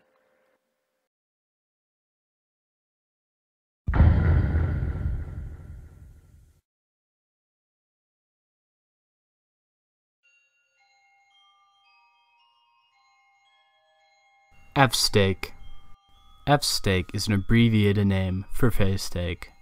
This only appears if you name the human Drak, Gigi, or Guzu. F-Steak originates from a Persona 4 fan comic titled Hi, I'm Daisy from Gigi D.G., who you might recognize from the last video for making Cucumber Quest. File version 0.6.6.6 the file installer for Deltarune is version 0.6.6.6. Gaster's stats are also both 666. Coincidence? I think not. Monsters provide their own check info. Checking a monster's stats is more complicated than you'd think, at least in a narrative sense. Checking certain monsters elicits a reaction as if they know what the check says about them, such as Napstablook taking offense to being told that they don't have a sense of humor. What's interesting is that Glyde, the secret boss in Snowdin, suggests that monsters provide their own check info. Its check info states, refuses to give more details about its statistics. From this, we can infer that Glyde is so self-absorbed it didn't even want to tell you what its stats are, this means it's possible that some check stats are provided by the monsters themselves. One final interesting thing to note is that it's possible monsters lie about their stats. As we've gone over before, the stats we get from checking a monster don't line up with the monster's actual stats. For example, Undyne the Undying stats are listed as 99 attack and 99 defense, but in reality, her stats are 12 attack and 5 defense. The four main areas represent the four seasons. The four areas of the game, the Ruins, Snowdin, Waterfall, and Hotland, correspond with the four seasons. The Ruins represents fall as there are fallen leaves everywhere, there's a tree with leaves that constantly fall off, and finally, the game starts with the human falling down. You know, Toby loves his puns. Snowdin represents winter with the obvious snow and Christmas theme to the area everywhere. Waterfall represents spring with as many puddles of water and tall grass. And finally, Hotland represents summer as an obviously hot area with the place being seen as a sort of vacation spot. Not only are the connections obvious, but there's proof that this was intentional. The Monster Kids word search lists each of the four seasons on the left, and the main characters you encounter in the areas in the middle. Fall with monsters, winter with skeletons, spring with mermaids, and finally summer with robots. Asriel's background origin. The Rainbow City background featured on Asriel's wings is from an arcade game titled Air Duel, with this being the background's original appearance. Ice's glitched sprite. In early releases of Undertale, upon killing Ice and as they turn to dust, you can see the kill sprite for Aaron in a recording sign in the bottom right corner. This is just a glitch though, and not some crazy evidence that Aaron is every monster or some shit like that. Hidden Hotland Ledge. There's an inaccessible ledge to the right side of the room where you find the apron and Hotland. When you first enter Hotland, you can see a shadowy figure quickly run away after looking at you from there. This is assumed to be one of the monsters that Mettaton hired to kill you. Papyrus is based on Dedan. On January 8th, 2017, Toby Fox tweeted out a picture of Papyrus's early designs. This character was very different from the Papyrus we know and love today. He wore a fedora and talked like a, you know, I'll just say he talked like a neckbeard. Besides that, the design for his head was very different, so much so that it doesn't even look like a skeleton too much, but in fact he looks like Dedan from Off. In the art book, Beta Papyrus makes another appearance, further cementing the neckbeard angle his early character had, with Toby himself even saying that he had no redeemed qualities. Toby also confirms that Papyrus's early designs were inspired by Dedan. The city is Papyrus's room. The new Deltarune screenshots show off a new futuristic looking city, which some are theorizing is Papyrus's room. Reddit user A Hedel in particular put together some great points towards this theory. First of all, the city is filled with red cars, much like Papyrus's well-known red car bed. Another observation is that the city is tinted blue, something Papyrus is well known for with his blue attacks. Speaking of blue attacks, the city also has many stop signs and lights, which Sans uses as a metaphor for his blue attacks. They also say that the figures on the posters resemble Papyrus's action figures, but this is more of a stretch in my opinion. Also, finally, the fact that Toby says the city's actually pretty small could also point it towards being a toy world of Papyrus's world. Jevil Fight Background The background of Jevil's fight is a distorted grayish purple carousel. Here's the original source image of it. You brought up the topic of gun control. There's an unused encounter with another Clover enemy in Deltarune, which has some interesting unused text. One of three sets of act options are chosen at random when fighting it, and the one that easily stands out the most is the option Gun Control. Selecting this option causes this to happen. You brought up the topic of gun control. Clover started to argue. I use a gamepad to aim. Idiot, mouse and keyboard. Please stop, you two. Thankfully, gun control doesn't mean what it actually means. It's very likely Toby removed this bit of dialogue, as it would be a very, very out of left field joke compared to all the other pieces of lighthearted humor in the game. Ragel. Ragel, or Raggle, whatever the hell this guy's name is, is the little dancing mushroom guy in Temmie Village. Lots of people know who he is, but most don't know his real name. Unusual Smile Association.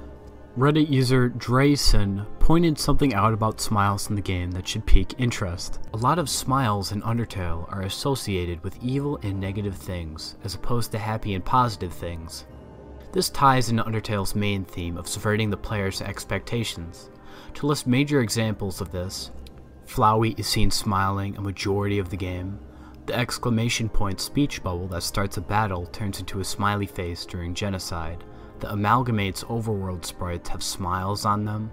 Chara smiles when you see them in the darkness, and nearly every main character smiles when they die in genocide. Asriel's attacks are inspired by others. Considering who knows how long Flowey messed with the world while he had his save and load powers, he knows a lot about the other characters' attacks from fighting them before. Okay, so of course, Asriel's first attack obviously mirrors his mom's fire attack, right? He even imitates the way Toriel intentionally misses your soul later on in the fight. His Chaos Buster imitates a Gaster Blaster, as it shoots out a beam and even makes a noise similar to the Gaster Blaster. His all-powerful attack, the Hyper Goner, can be based on two things. One, a Gaster Blaster, again, and two, the Determination Extraction Machine in the True Lab. Both are very skeletal-like in design, and it wouldn't be surprising if Asriel took inspiration from one or both of these things for it. Activity Level the activity level is a secret screen on Undertale's start menu you can activate by pressing Shift or X five times. Activity level A is shown if you get a neutral ending, B if you complete a pacifist route, and C if you fought Sans twice or killed him. No information is shown if none of these goals are met. Unused Jevil attacks. Jevil has a bunch of scrapped attacks still left over in the game data. The most interesting of these are the early Devil's Knife attacks. Some of them are hard, yeah, but most are super easy to cheese, so that's why they're most likely cut. SPR underscore Toriel Boss underscore Suicide. In the game files, there's a sprite similar to Toriel's sprite when she's been killed, but her expression is changed to her smiling, and the file name is called SPR underscore Toriel Boss underscore Suicide. This implies that Toriel would commit suicide in some form, and there would be no way to prevent her from dying. Jockington Icon Duplicates Okay, so there are 8 icons for Jockington in the game files of Deltarune. All of them are the same. What does this mean, Toby? What does this mean? Is this a joke? This is a prank? Are you trolling us? Gaster Upside Down Face If you flip the Mystery Man sprite upside down, you can identify a new face in the sprite's body. Some may find him creepy, yeah, but he's my son now and none of you can change that. Red Soul and Susie fight.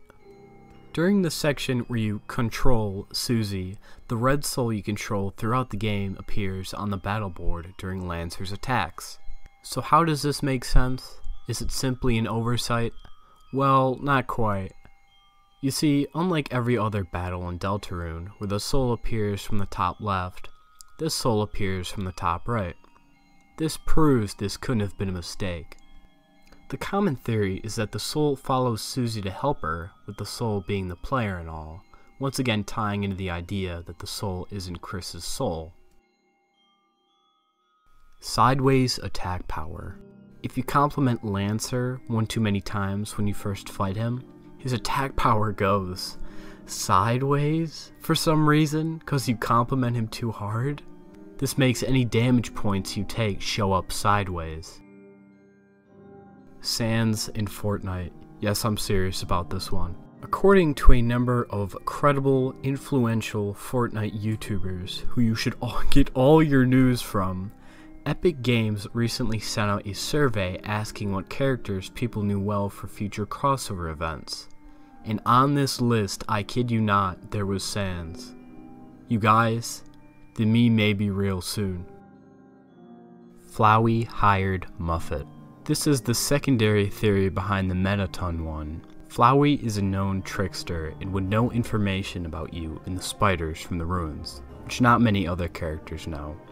The changing shape part is a little more of a reach, but Flowey does have facial expressions that do change his shape considerably, However, I believe Mettaton is more likely, considering he is very wealthy and could pay Muffet to kill you, while Flowey doesn't have a method of making money, besides stealing, of course.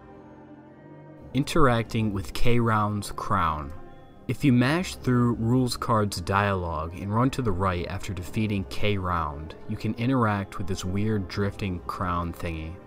Interacting with it at first says, Thar she blows, which is a reference to Moby Dick, and additional interactions with it say, it's going to live off a better life now. Unused Froggit in FNAF 2. In Five Nights at Freddy's 2, there's an unused sprite in the game's files that appears to depict a skull with the file name Mike. People have tried to recreate what the full sprite would have looked like, and immediate comparisons to Froggit are made.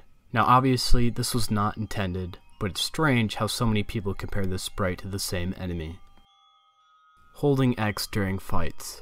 If you hold down either X or Shift when battling in Undertale, it makes you move at half speed. Sometimes it's broken though, like in the Papyrus Hangout section. This feature was removed in Deltarune. Doomed to Death of Karma. If you take between 30 and 40 points of KR damage in Sans' fight, the flavor text will change to Doomed to Death of Karma.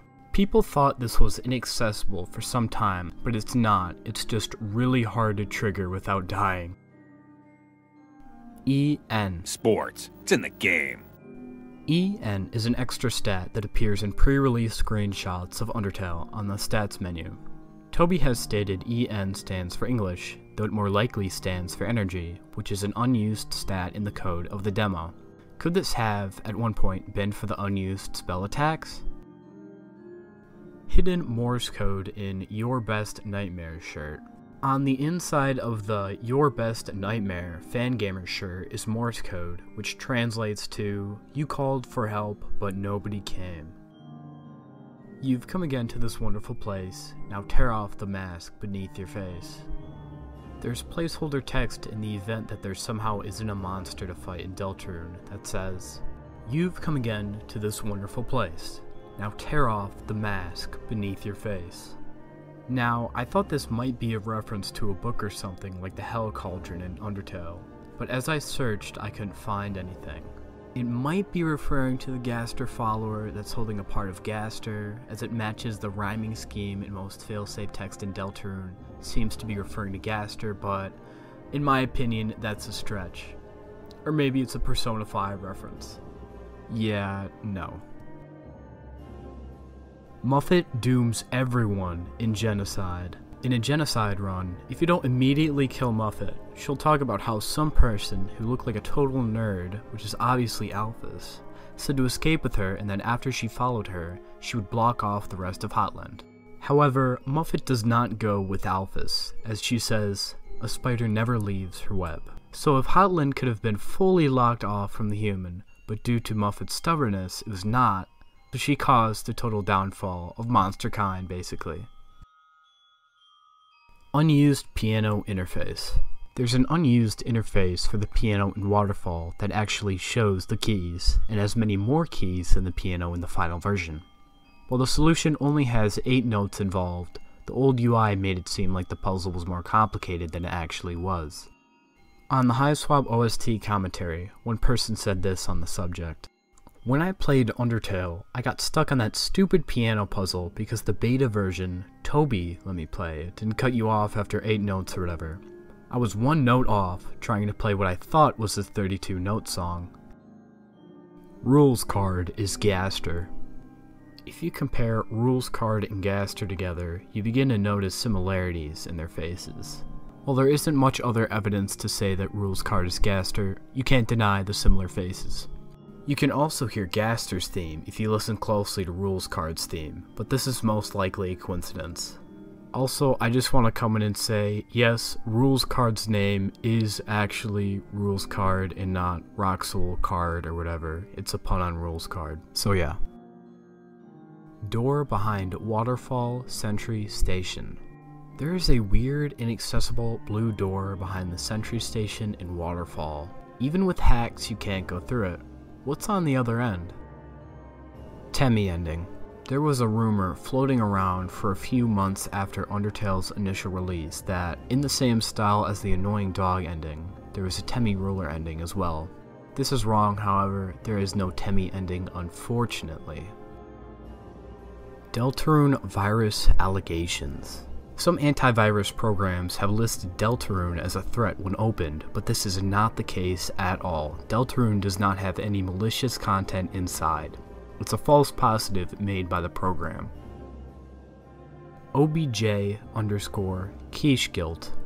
This is an unused feature that would involve you feeling immense guilt after throwing away the quiche.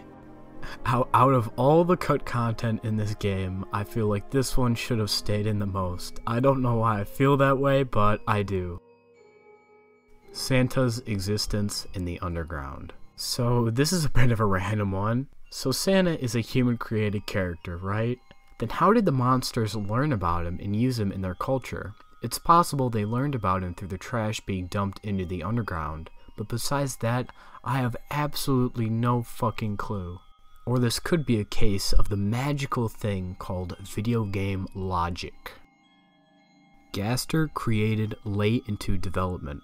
This is a discovery found by u slash karabili underscore watar on r slash underminers that Gaster was created far into development, with evidence provided through the orders of the room, object, and music folders individually, plus a few other factors. To sum it up, Toby came up with an early idea for Gaster while in the early stages of making the True Lab, to provide an explanation of Sans' backstory. Then, at the very end of development, he added all the weird Gaster shit you know and love, like the Entry 17 room, the Gaster followers, and the sound test room. One thing to note is that the wrong number call was added with all the Gaster shit as well. More evidence that the mysterious G is, in fact, Gaster. Muse underscore pre-dummy. Muse underscore pre-dummy is the song that plays as Mad Dummy comes out of the water to lecture you.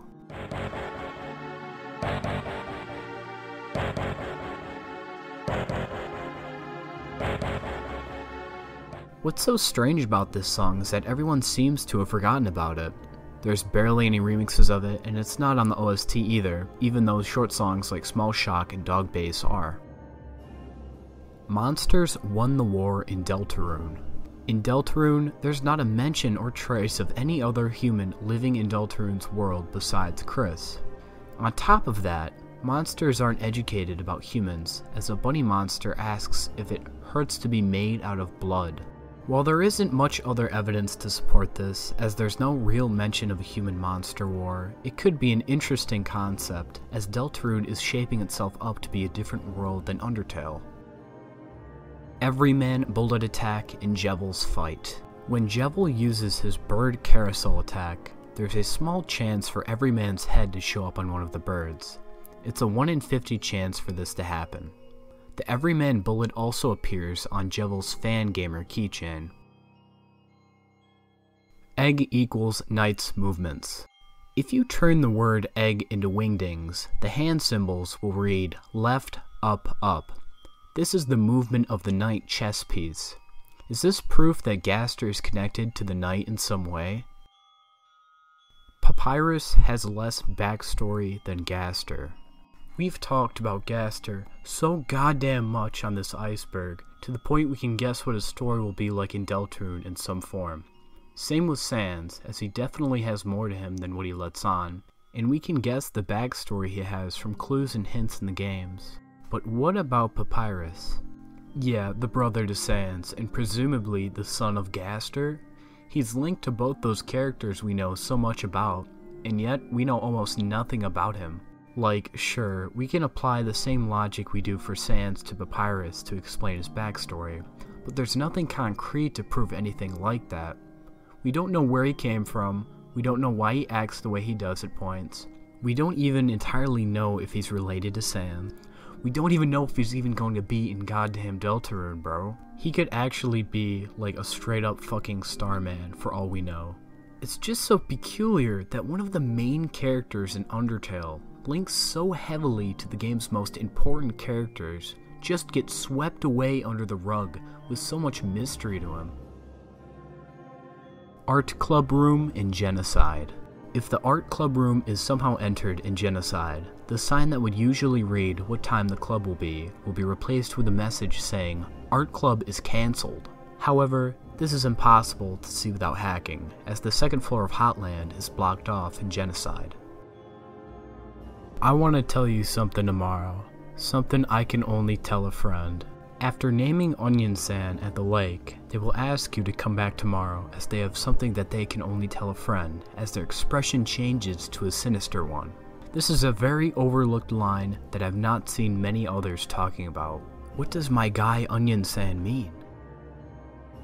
Cameo on SCP 3922. I won't go on about what SCPs are, as most people familiar with icebergs are familiar with the fictional SCP Foundation, so I'll go into the actual SCP itself. SCP 3922 is a metal cylinder that, when placed near a TV or a computer, alters the fictional media being played on it. Actors wearing combat uniforms and gas masks, or SCP 399 A, usually appear to punish any crimes committed by the characters in the media.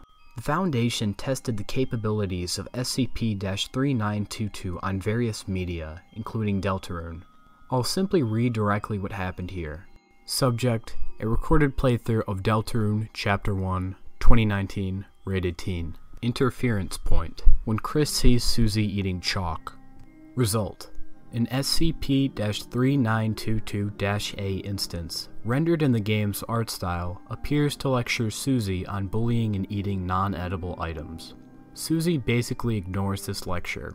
Kris and Susie still enter the abandoned classroom and still fall into the Dark World. Notably, all plot taking place within the Dark World is completely unchanged. After Susie and Kris emerge from the Dark World, the epilogue within the town is unchanged. except for the notable absence of Sans. Note Maybe SCP 3922 A didn't punish characters like the Chaos King and Jevil because they exist in a story within a story? Director Naismith. Question mark, question mark, question mark. If Kris's name is modified to be longer than six letters, then question mark, question mark, question mark will appear to the right of the menu. It's basically Deltarune's version of easy to change, huh?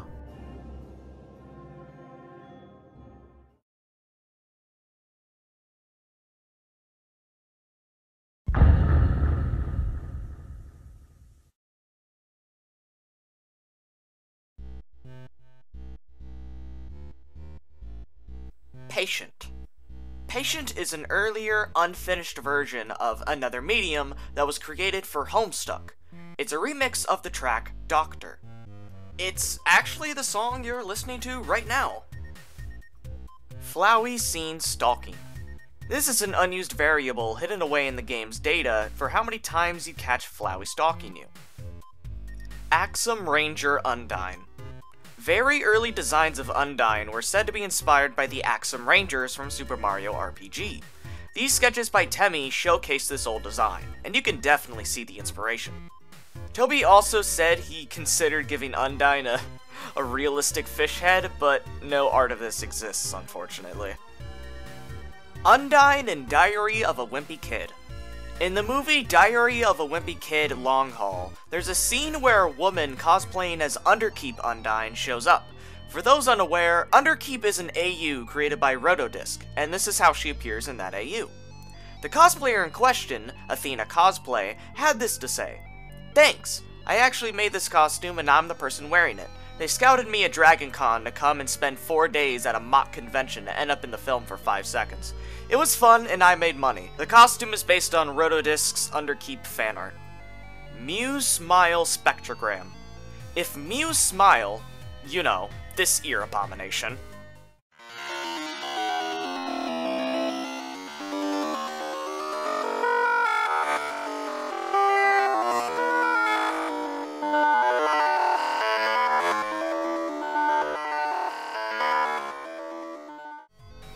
that is put into a spectrogram, a weird symmetrical pattern appears.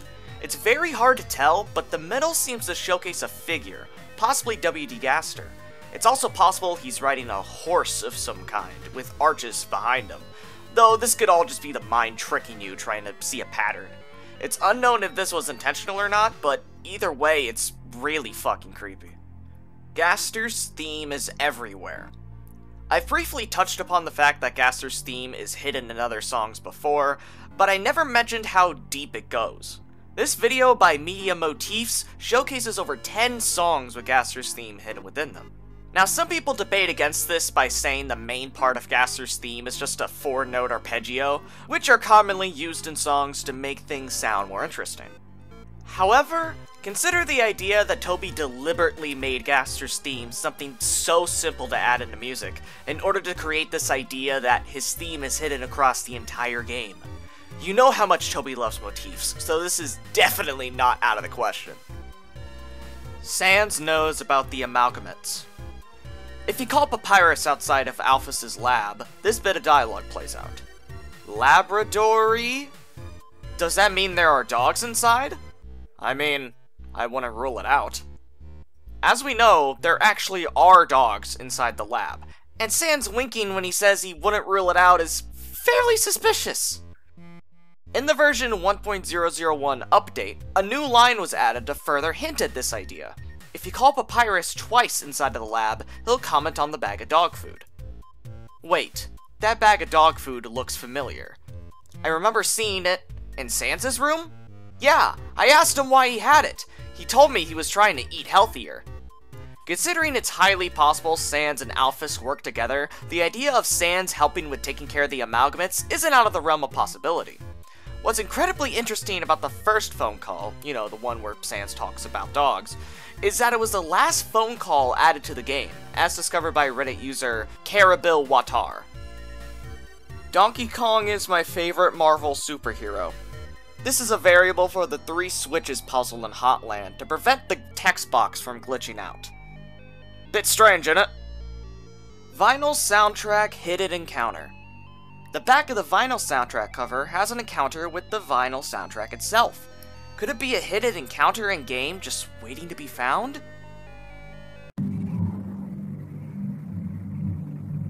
No. Asura. In the Undertale art book, Toby explains the existence of Royal Guard 3 and Royal Guard 4, but also explains that all of the Royal Guards were going to have an amalgamated form named Asura. This amalgamate is interesting because the Royal Guards are more of characters that aren't really part of a clear species, unlike all the other amalgamates. It reminds me of a canon version of Six Bones in a way. Reaper Whimsalot. In the art book, Whimsalot's early design is shown, where they have a skull-like face and a scythe. Mismatched Deltarune clocks. After Kris and Susie leave the Dark World, you can walk around the inside of the school after hours. In every single classroom, the clocks all have different times on them. This can mostly be explained. If you look at both classrooms, you can see that the kindergarten classroom uses some of the same sprites, but flipped. It's possible this was done to the clock too, unknowingly, as the clock is exactly flipped with the clock in the first classroom. However, that leaves the clock in the closet, which has both hands pointing down. This time is impossible to be shown on a real clock, and this could be either explained away as the clock being broken, or some sort of symbolism. Both hands are pointed at 6, and Gaster's number motif is 666. Coincidence? Recolored Moldsmals. The Moldsmals in Waterfall are a different color than the ones over in the ruins, according to the check information. You can't tell this by the black and white sprites, but they are. Frisk is Chara's undead body. Now, it's quite clear that Chara possessed Frisk in some way, and at the end of Genocide, they explain they were revived from death. But what if we took this more literally? This is a massive crack theory, but I'll still explain it. Frisk, at least compared to Chara, looks odd. Their eyes are always shut, they never talk, and their skin is a bright yellow compared to Chara's more natural pale skin. So is Frisk a zombie? Well, this could easily be explained away as a way to keep Frisk's appearance ambiguous, and the mere fact nobody recognizes you as Chara, aside from Flowey, explains this away too. And if Chara is meant to be Frisk, how do they change clothes entirely in Genocide? Core Meltdown Inconsistency. So the core is cooled down by the ice wolf throwing ice into the water, where it travels to the core in order to be melted and cool off the core, right? So why then does the core not have a meltdown in Genocide? Because the wolf doesn't throw ice for quite some time during then. Dentata. Photoshop Flowey has an attack where multiple green virus-looking objects appear with mouths on them with pronounced teeth. In the game's files, these objects are named dentata, the Latin word for teeth. However, most people know of the word dentata from a folktale that describes a man trying to forcibly have his way with a woman, only for her genitals to have teeth in them. Let's, uh, take a look at that attack one more time and, uh, yeah. Stray Pixel at King Fight. There's a stray pixel in the background of the King's fight. This game is literally fucking unplayable. Mr. Sunshine. Mr. Sunshine is a character Toby doodled in the art book, which never got to appear in the final game. He looked like a lion with a crescent head and a sun for a tail. There are some other designs on this page, but they're not really noteworthy. However, I have to point out fan art of this character by Twitter user MonsterCandy28, which gives a very menacing look to this otherwise forgettable scribble. The human in Sans' tarot card symbolism. In Sans' tarot card, the human can be spotted in the reflection on the hallway's window. What's interesting is that they're standing exactly where the angel is on the window. Is this meant to be subtle symbolism that the human is the angel in the prophecy? Muffet saw Gaster. Muffet mentions during her fight that the monster who hired her to kill you had a wonderful smile and changed shape. Gaster's sprite has a smile and does change shape when you try and talk to him. However, I still believe that Mettaton is the one who hired Muffet, as he has the money to pay out, and I Don't believe a man that basically doesn't exist has a job. Mew's smile has Muffet's laugh. If you take Mew's smile and intensely speed it up, you'll hear the laugh Muffet uses.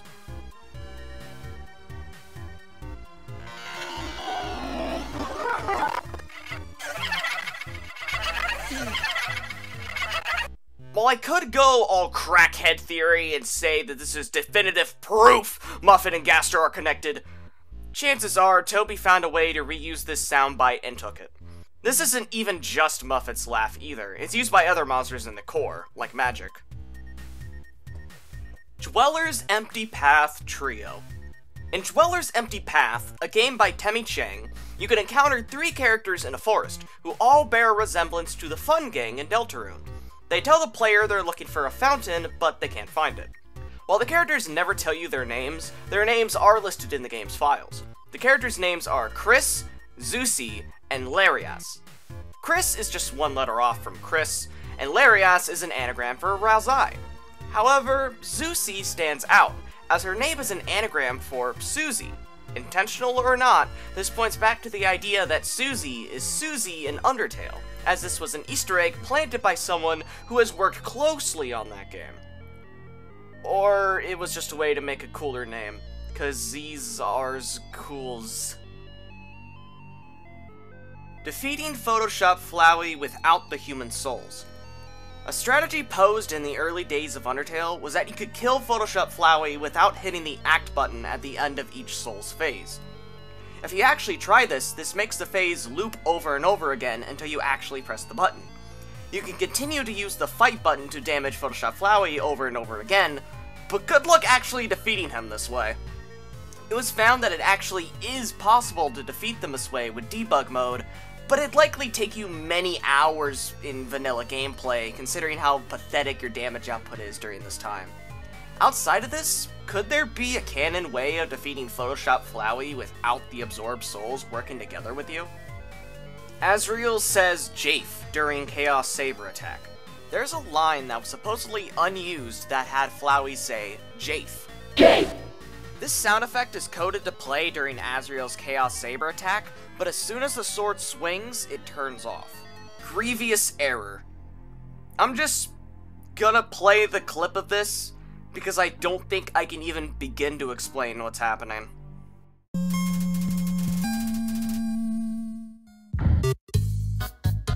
Mm-hmm.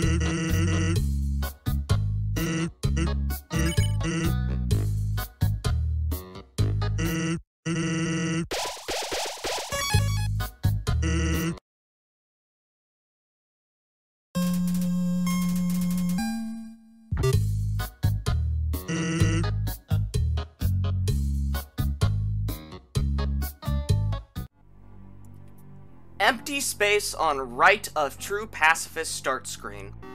There is a strange empty space on the right of the true pacifist start screen, between Asgore and Monster Kid. What does this mean, Toby? What does this mean? See you in the next hell, losers! There's an unreachable line of dialogue in Deltarune's code that is found at the end of Ralsei's old tutorial fight, which says, See you in the next hell, losers! This was likely added as a joke. Flowey mimics Seam's eye. During Flowey's speech, just before he goes all Photoshop mode on you, he morphs his face into three moving circles when talking about everyone. This could possibly be a reference to the Darkeners, as Seam's button eye bears a striking resemblance to Flowey's face here. Castle scene in Waterfall different than one in Ending. The castle scene in the distance in Waterfall has been theorized to be different from the one in New Home. For starters, there isn't a hint of the blue seen on the Waterfall Castle in New Home's castle. All of it seems colorless up until the Judgment Hall and the Throne Room. The interior of New Home also looks nothing like how the castle and Waterfall is set up to look like, as it looks like it has lots of entry points, while New Home is basically just one long hallway. The location of the castle also doesn't make sense if you look at the whole map of the underground. New Home is much farther to the right than the castle and Waterfall is. This mystery has been solved though, as if you call Papyrus while in the Waterfall Castle room, he will say that is indeed Asgore's castle. Korean Demo.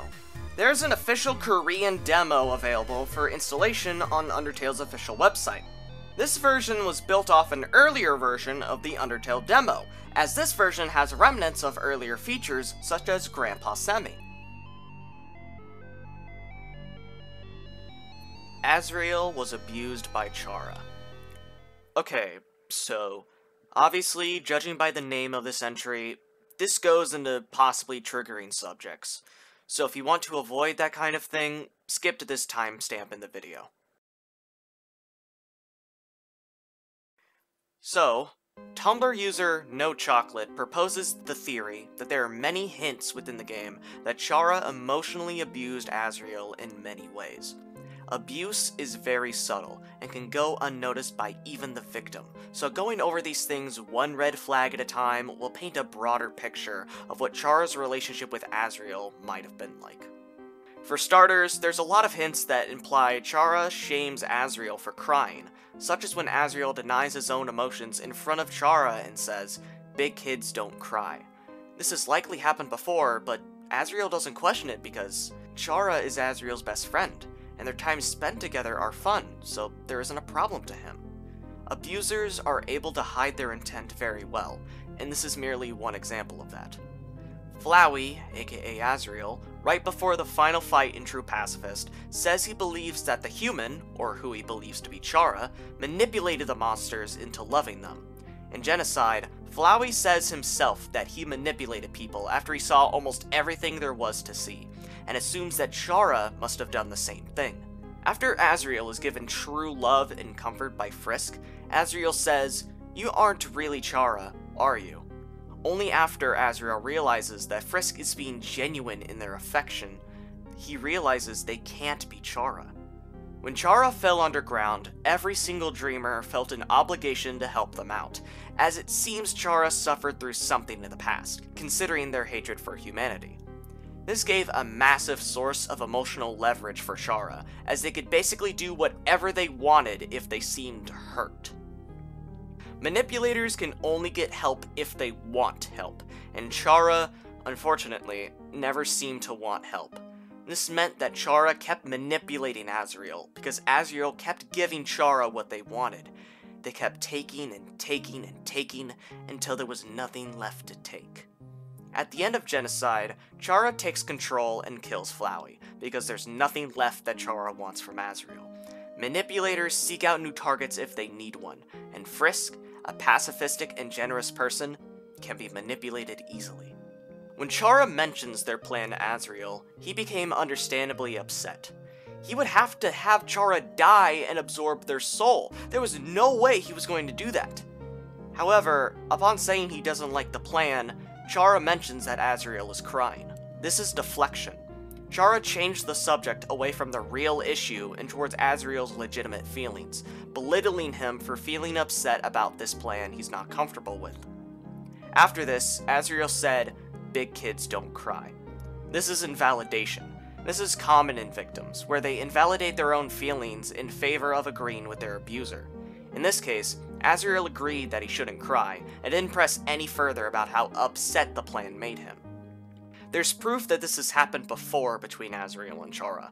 When Asriel was upset about poisoning Asgore, Chara laughed it off, and later Asriel says he should have laughed it off too. This implies that Chara was making Asriel believe his reaction to this situation was irrational. When you talk to Asriel after his fight, he says, I always was a crybaby, wasn't I, Chara? This implies that Crybaby was a common name that Char called Asriel, a very demeaning name at that. One that would make Asriel lose his confidence and believe the names that Chara was calling him, to the point that Asriel calls himself a crybaby. This is name calling, another manipulation tactic. Asriel later explains to Frisk what happened when he absorbed Chara and went to the human village. Frisk, when Chara and I combined our souls together, the control over our body was actually split between us. They were the one that picked up their own empty body. And then, when we got to the village, they were the one that wanted to use their full power. I was the one that resisted. This means that Chara wanted Asriel to kill a human, but Asriel did not want to do that, no matter what Chara said to him. When their words lost power, Chara used physical force to get their way. This was the only time we see Asriel defy Chara. In one of the tapes in True Lab, after Chara shames Asriel for crying, they asked if Asriel agreed with the plan. He said yes. After this, Asriel says, No, I'd never doubt you, Chara. Never. Even though Asriel agreed, Chara seemed to ask Asriel if he didn't trust them. Manipulators want to push the truth the victim already believes at any chance they can. After this, Chara says to Asriel that they'll free everyone, making Asriel believe that this plan would benefit other people, making him less likely to question it. The mere fact Chara was able to convince Asriel, a kind hearted monster, into this plan shows their manipulation. They belittled Asriel's crying, convinced Asriel to go with his plan despite his intuition, and persuaded him until he saw that Chara's way was the right way. While it may sound ridiculous, many victims idolize their abusers, sometimes over their own family and friends. This happens with Asriel. A lot. As Flowey, sometimes he sees Frisk as Chara, and his whole demeanor changes. While Frisk is a puppet he can easily toy and mess around with, Chara is his best friend. He brings up Chara unprompted, speaks highly of them, and when he realized he couldn't feel love as a flower, the love he said he could have gotten from Chara, he wanted to kill himself. His devotion to Chara was so great that he doesn't want to live in a world without them. In Genocide, Flowey says that Chara is the only one that understands him, and that they won't give him worthless pity. This seems contradictory, but to Asriel's manipulated mind, there's nothing wrong with this. Asriel says something similar during True Pacifist. He only wants to reset the timeline to be with Chara forever. This unwavering dedication to someone is common with victims. After the event of the plan going wrong, and both Asriel and Chara getting killed, Asriel blamed himself for what happened, despite everything being Chara's plan. Putting the blame on oneself and never on the abuser is another sign of manipulation. Flowey explains that, despite making the right decisions as Asriel, his life was full of suffering. He wishes he could go back and stop being such a caring person, and thinks that Chara's way was the right way after all, and it's his fault that he's now a flower. If you abort a genocide route and then perform a neutral route, Flowey questions your behavior, asking you why you screwed it up like last time. However, Flowey tries to rationalize this. They could kill every other monster that stood in their way, but no way that they would hurt Asriel. Flowey pushes this narrative onto himself until he believes it. This is a denial tactic that's common in victims. Speaking of genocide, Chara kills Asriel at the end. But right before that, Flowey helped you on your genocide, and constantly referred to us and we when talking to him about your slaughter. When Flowey is faced with the undeniable truth that Chara will kill him, he asks for mercy. He desperately wants to believe that Chara will treat him differently than everyone else. Victims believe their abuser will treat them differently, assuming they're of more importance to them and wanting exclusive treatment. At the end of the True Pacifist route, Asriel says something that's hard for any abuse victim to say. Chara wasn't really the greatest person. He says that he wishes he had a friend like Frisk instead, and that he was spending his time with the wrong person. Later, Flowey begs you not to reset, talking to you like you're Chara. Let Frisk live their life. He's assuming that Chara is going to hurt Frisk, and even believes that they've done it before. Before, Flowey wouldn't have seen any flaws in Chara. Now he realizes they can be selfish and uncaring. He's come to terms with the fact that Chara was not a good person, but he still has positive memories and experiences with Chara deep down. I'll end this off with an excerpt from No Chocolate. Flowey's symptoms of being emotionally abused didn't begin in the genocide route. Even before Flowey recognizes Chara in the pacifist route, the red flags are still there, present in the neutral endings and lab tapes. Flowey's perception of Chara stems from how Chara treated him while he was alive as Asriel. The evidence for Asriel's abuse is not obvious. Flowey's behavior is subtle, and the red flags are present but small enough to easily brush off, just like in real life. He doesn't ask for sympathy because most of the time he doesn't realize there's a problem. When he does start to acknowledge it, he is accountable for his own actions. He isn't interested in making excuses. That's typically what abusers do. Resist the misconception that a victim must appear weak, innocent, and blameless. All too often, abuse is invisible, even to the person being abused. Whew, alright, enough actually depressing shit. Let's get back into the less serious. Pressing all three hotland switches. There's a glitch that allows you to hit all three hotland switches in a row, which you're not allowed to do normally. This has this happen.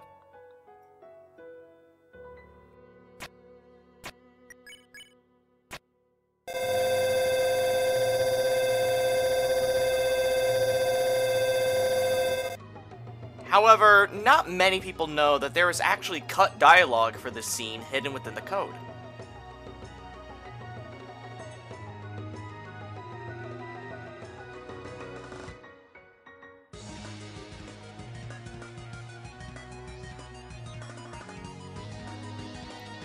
Temmie one-hit killing after refusing to sell to shopkeeper. There was a rumor in the early days of Undertale that the Temmie enemy one-shots you after you refuse to sell to the Temmie shopkeeper. While this would have been an amazing secret, it's sadly not true. I'm not sure exactly where or how this rumor would have started, but it definitely feels like a do trust me, my dad works at Nintendo type of rumor. Lancer and Susie's blueprints and the workshop's blueprints. When Lancer and Susie are creating the Thrash machine, they temporarily hang up some blueprints. These look incredibly similar to the blueprints in Sans's workshop. And also remember when the Thrash machine gets destroyed before it even activates? Well, do you also remember the covered up machine in the workshop? That machine is said to be broken too. And also, the Don't Forget note is highly thought to be linked to the Fun Gang, so it seems the connections between this workshop and Deltarune are becoming tied closer and closer together. Seam's theme in PS4 launch trailer. Seam's theme, Lantern, is in the first few beginning seconds of the Undertale PS4 launch trailer.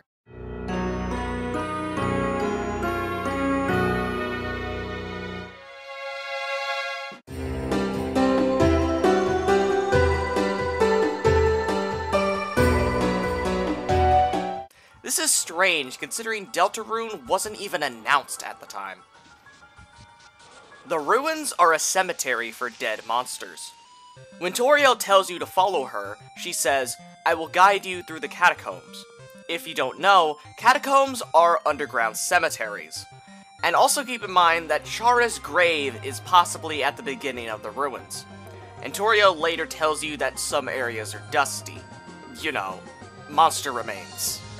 This fact basically makes Toriel a groundskeeper for a massive grave site, and I don't know how to feel about that. Toriel faking her death. If you perform a genocide hard mode run and kill Toriel, the annoying dog will interrupt you like normal, and Toriel will get up like nothing happened and leaves to bake another pie.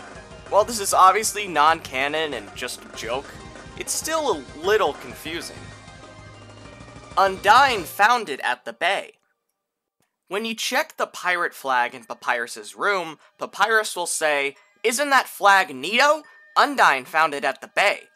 This implies there's a beach area in the underground that we just never get to see, and no one else mentions it outside of this one line of dialogue.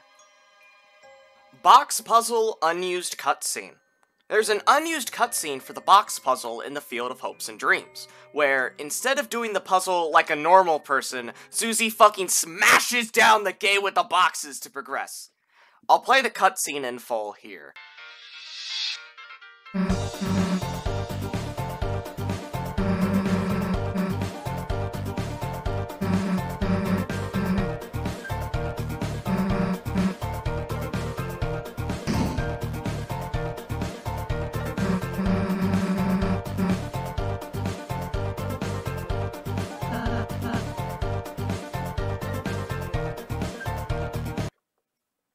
The Dark, The Return, The Death.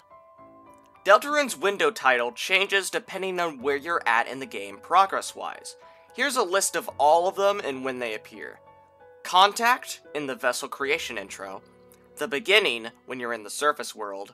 The Dark, when you're in the Dark world. The Death on the Game Over screen. and the return upon returning to the surface world. Noticed how some are capitalized and some aren't. Could the capitalized ones be Gaster?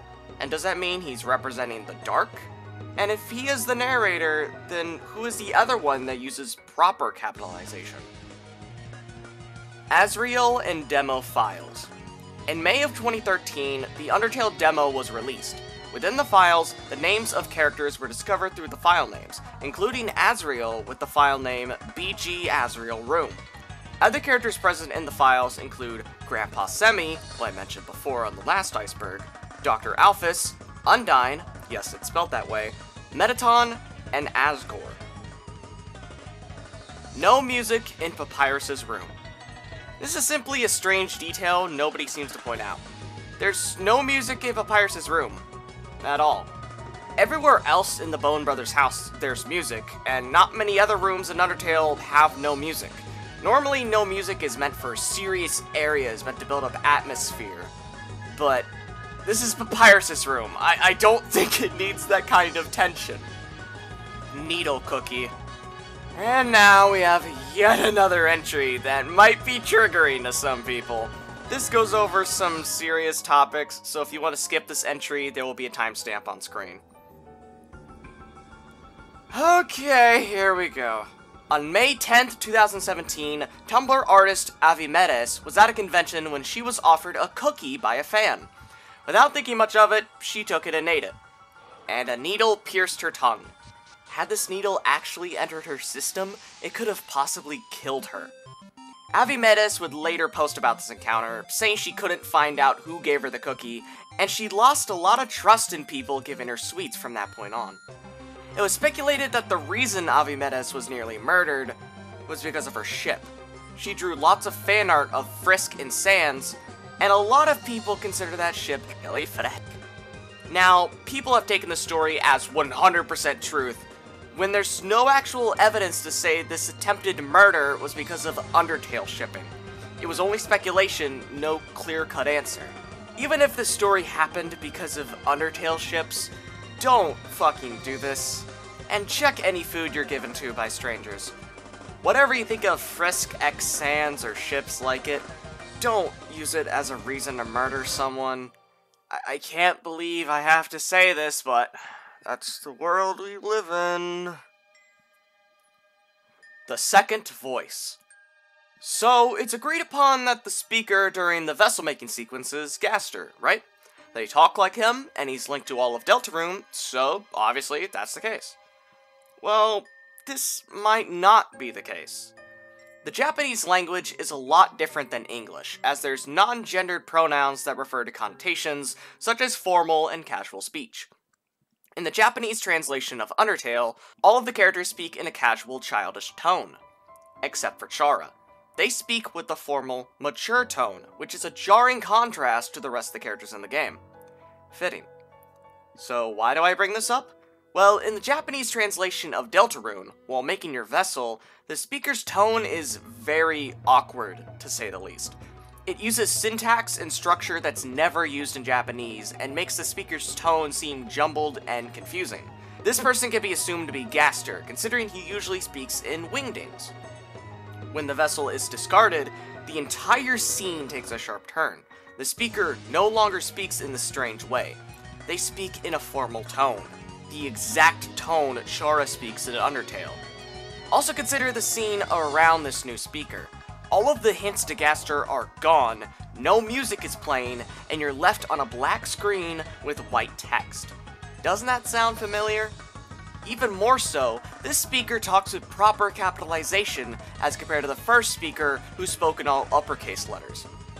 There's more that can be inferred from the fact that Chara is a major part of Deltarune's story, as they were the one that stripped you of your freedom at the beginning, but I'll leave the full theory by Reddit user Reptoid Ryu in the comments, as I just wanted to go over the major fact that Chara is speaking in Deltarune's intro. Castletown is fake. The town you first encounter Ralsei in, Castletown, is empty. Isn't that a little strange? Ralsei is supposedly a prince, and yet he has no one to rule over. All of the houses are locked, and there's no proof anyone lives in this town whatsoever. There's no mention of this town anywhere after you leave it, too. Ralsei never mentions it either, not even if anyone lived there before. So what is up with this ghost town? Well, if we go back to the theory that Ralsei has some sort of evil intent, it's possible that Ralsei created this village as a ploy to prove to Kris and Susie he really is a prince. Maybe it's a stretch, but there's really no good explanation to what happened to this town, given the little information we know. What happened to Grillby? In Deltarune, Grillby's can be found as a place run by Sans. But what exactly happened to it? A majority of the sign is scratched off and rewritten to say Sans instead. But where did it come from? And more importantly, what happened to Grillby? Nobody makes a mention of him in the entire game, not even Sans, who owns what was supposedly his old bar. Inaccessible balcony. To the right of Sans of Papyrus' house, there seems to be an inaccessible balcony. Maybe Sans' room was designed at first to have an entrance to this balcony?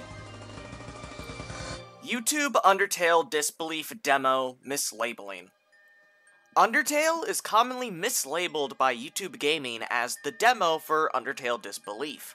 It's not really known why this happens and how Undertale Disbelief got recognized as a game by YouTube itself, but I guess that means the fan game makers did a good job. It was as if it was never there at all. If you go into the save file menu before completing Deltarune's main story, the menu design will be far more simple, and it seems that the voice narrating the menu is the same as the vessel creation section, so it wouldn't be unreasonable to say it's Gaster. One thing worth pointing out is the dialogue you get after erasing the save file. The voice will say, It was as if it was never there at all. This parallels Gaster's situation, where one day you're here, and the next you're gone, as if you were never there to begin with. Nintendo taking down Megalovania cover. Sometime in December 2018, Nintendo took down a fan-made cover of Megalovania in the style of Super Smash Bros. Initially, people in the Smash speculation community took this as just another weird decision by Nintendo, as stuff like this happening isn't exactly new, even if it's not fair. However, some people thought this meant something more, that Undertale was coming to Smash, and Megalovania would be in the game. Well, they were right.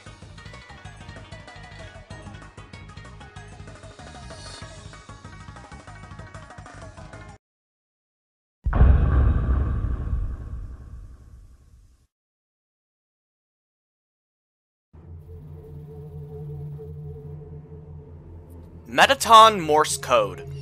A rumor floating around for some time was that there was Morse code spoken by Mettaton hidden in the files of Undertale. If you translated this Morse code, it would take you to an image link of Flowey calling you a naive idiot. It was revealed that this was a hoax created by a fan. There is no hidden Morse code in the files. Gaster hates PS4. Rather than bringing you back to the title screen upon typing Gaster on the PS4 version, it straight up crashes the game. This wasn't intentional. Unused Vulkin fight in trailer. There is an unused fight with two Vulkins present in every Undertale trailer, besides the Xbox one. Side note, this may be what's left of the unused cheerleader monster that was shown in the art book. When the cheerleader monster was supposed to spawn, two Vulkin would spawn with them, and the text that's included when you encounter the Vulkin says, A strange parade blocks the path. Unlisted Flug Radiation Videos Toby Fox has a few unlisted videos on his channel, most of them related to Homestuck. Unfortunately, all of them have recently been privated due to dumb YouTube rules. However, I'll show probably my favorite one right here, named Garf Zone. Gee, some people enjoy a little music in the morning.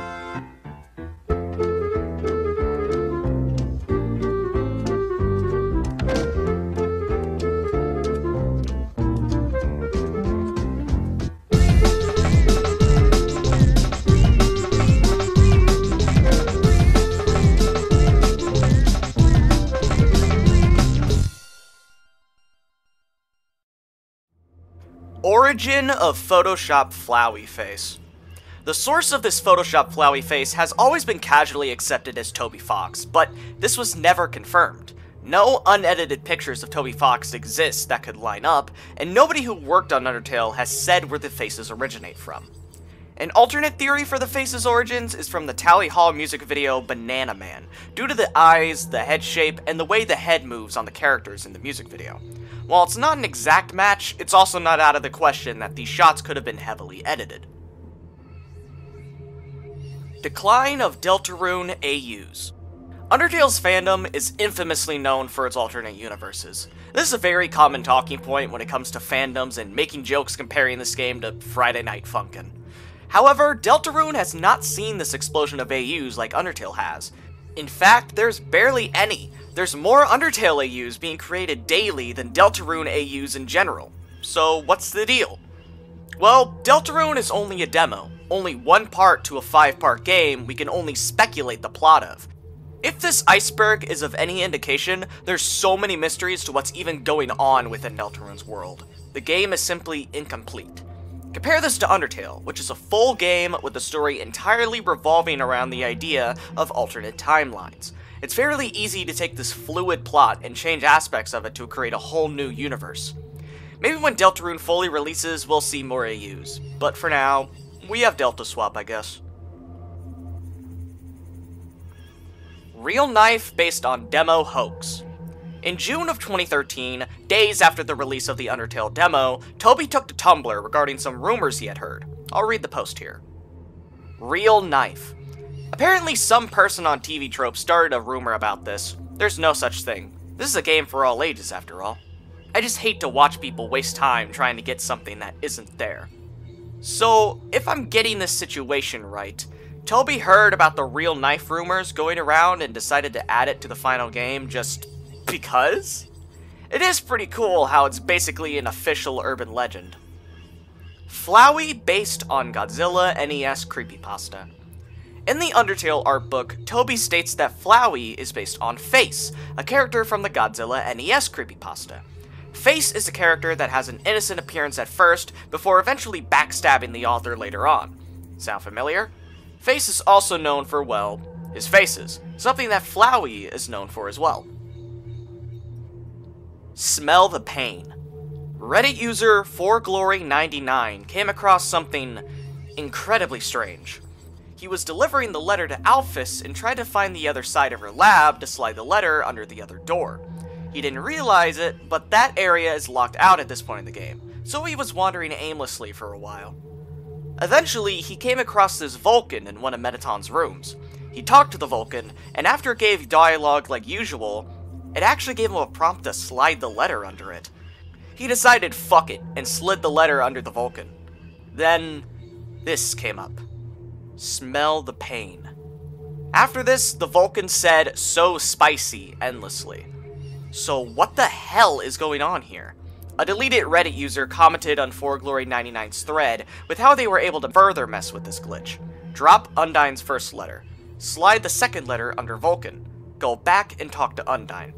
The letters stayed in my inventory. However, I found out that Vulkin repeats whatever was said to you last, including decisions, which is why the bug appears in the first place. So that's essentially how the glitch worked, but where the hell did Smell the Pain come from? There's an unused room named Test Room, I know, very creative, and this dialogue is present in the room. La la, time to wake up and smell the pain, though it's still a little shaky. this line will show up when the game tells itself to say specific dialogue, but it can't find it. So that's about it to this mystery. It's simply a very, very strange glitch that managed to sneak its way into a relatively glitchless game. But it definitely read like a real-life creepypasta, huh? Everyman is the knight. Buckle up, kiddos, this is a long one. We've discussed Everyman before, but we still don't know that much about him. However, we have a decent idea as to what his role could be. Tumblr user VGFM proposes the theory that Everyman is the knight. Yes, that knight. The one who has caused so much trouble in the Dark World and is implied to be the main antagonist in the future. Let's go over simpler evidence first. Everyman's file name is Strange Man, and when we first hear of the knight from Seam, he calls him a strange knight. Nearly every time the word strange is used, it's used to describe either the knight or Jevil, so Strange Man is definitely a candidate for the knight.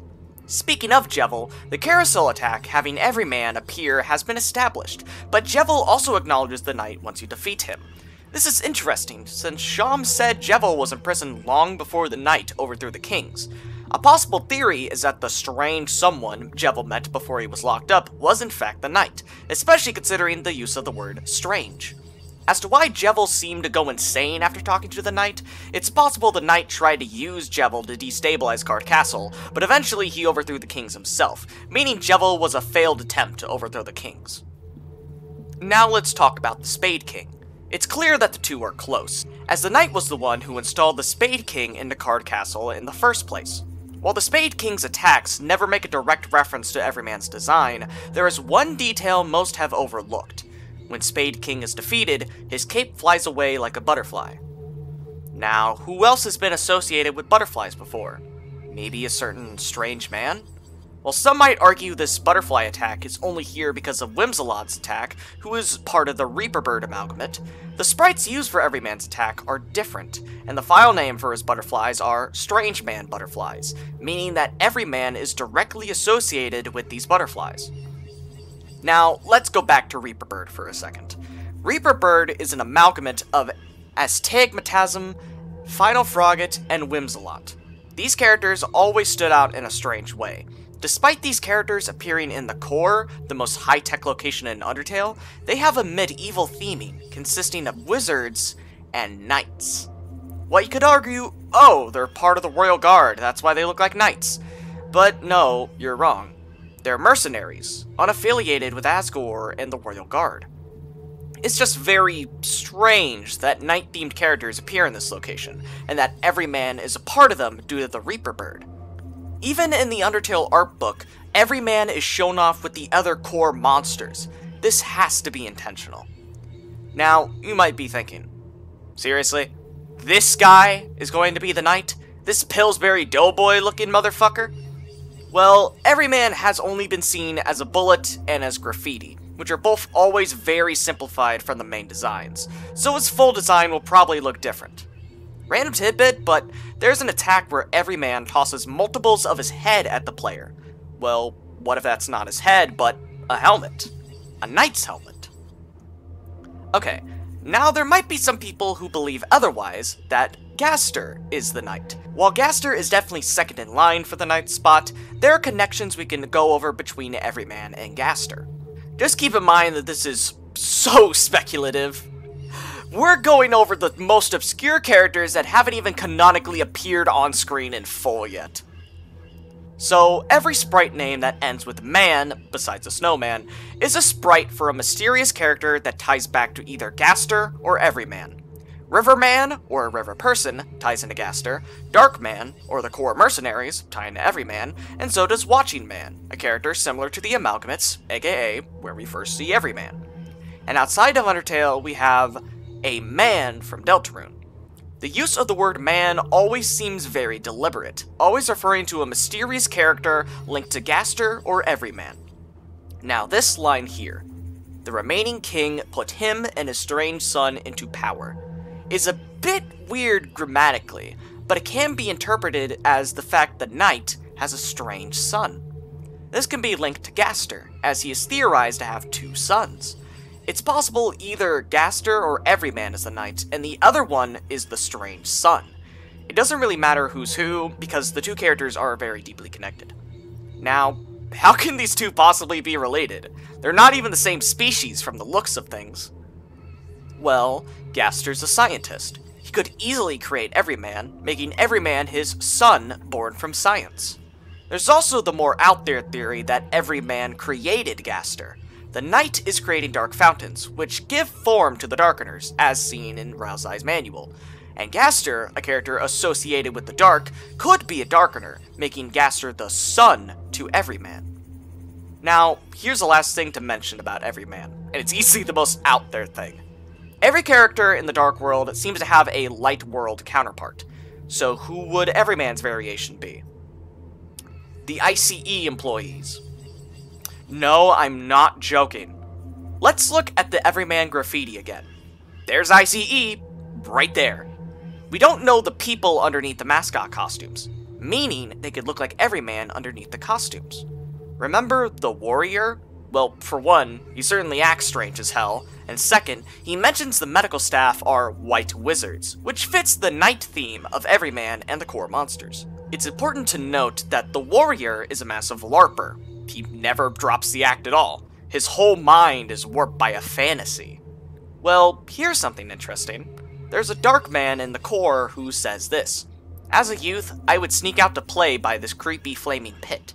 Since the core is always rearranging, it was like a game trying to find it. This seems to imply that the mercenaries are a lot younger than they seem. They were kids when the core was around. Maybe they're LARPers too. Going back to the warrior real quick, he's in the hospital due to pizza-related injuries.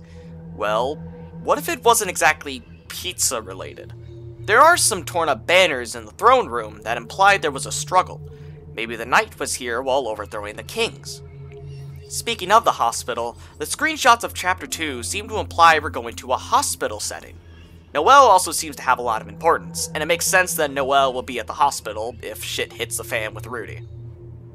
Whew, that was a lot to go over. The original post somehow goes into more detail, so props to VGFM for their original post. It'll be linked in the description.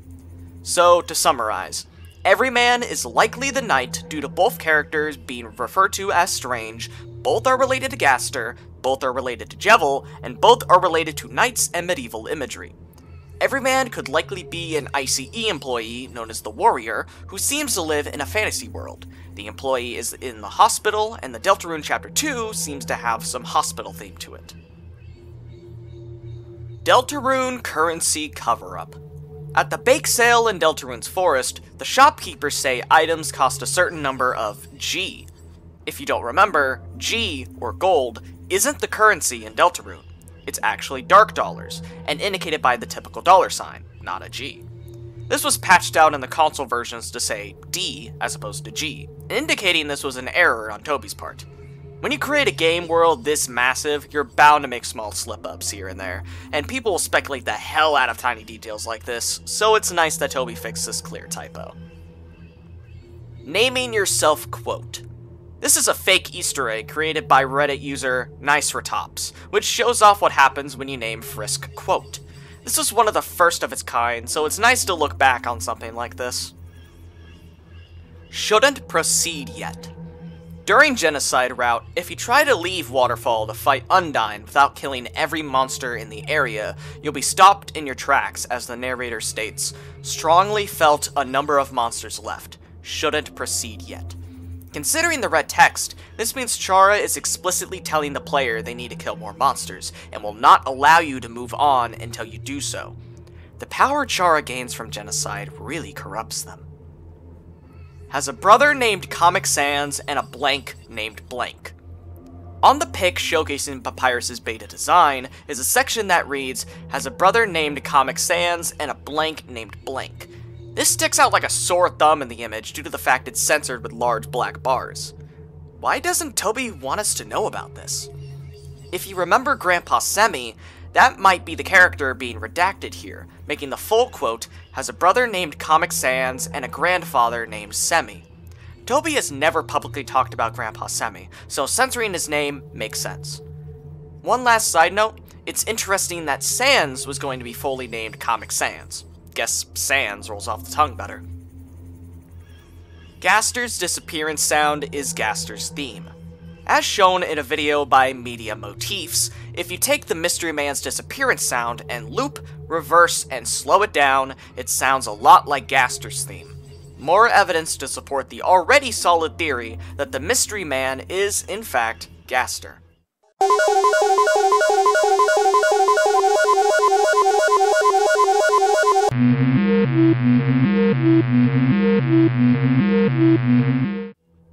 Sink theory. This is probably the most out there theory on this iceberg, but it's so crazy it might actually be true. In Deltarune's hospital, there are two short sinks in one room that the narrator comments that there might have originally been one tall sink that split apart to create both of them. Believe it or not, people think it's an analogy for something. One theory suggests that it's talking about Frisk and Chara combining to form Kris. Look at their sprite sizes. It's not hard to see that Kris is taller than both of them. Another theory is that the two sinks are Sans Papyrus, and the tall one is Gaster. It would fit the other theory that Gaster split apart into the Skeleton Brothers. Gaster's sprite is also taller than both of them, too. Megalovania almost didn't happen. In the making of Radiation's Halloween hack, Toby said that Megalomania from Live A Live was going to be used as Dr. Andonuts' boss theme originally, but he never got around to it. Toby said he instead yelled whatever he felt like into a microphone and copied it down to create Megalovania. Toby's choice to not use Megalomania was definitely the right choice in the end. Imagine the world without... Napster, Napstablook born in 1922. This theory stems from Napstablook's username on Undernet, Napstablook22. As gone over with Papyrus and Undyne, a common practice when choosing your username is having your birth year in some form included. So we're going off this, then Napstablook was born in 1922 or 2022. However, I believe Napstablook was born in 1922. Napstablook runs the snail farm and says their main customer disappeared one day, and there is only one character this could apply to, Toriel. She lists off snail facts, eats snail pie, she's quite clearly crazy for snails. Toriel did suddenly disappear one day when she left for the ruins to isolate herself after her children's deaths.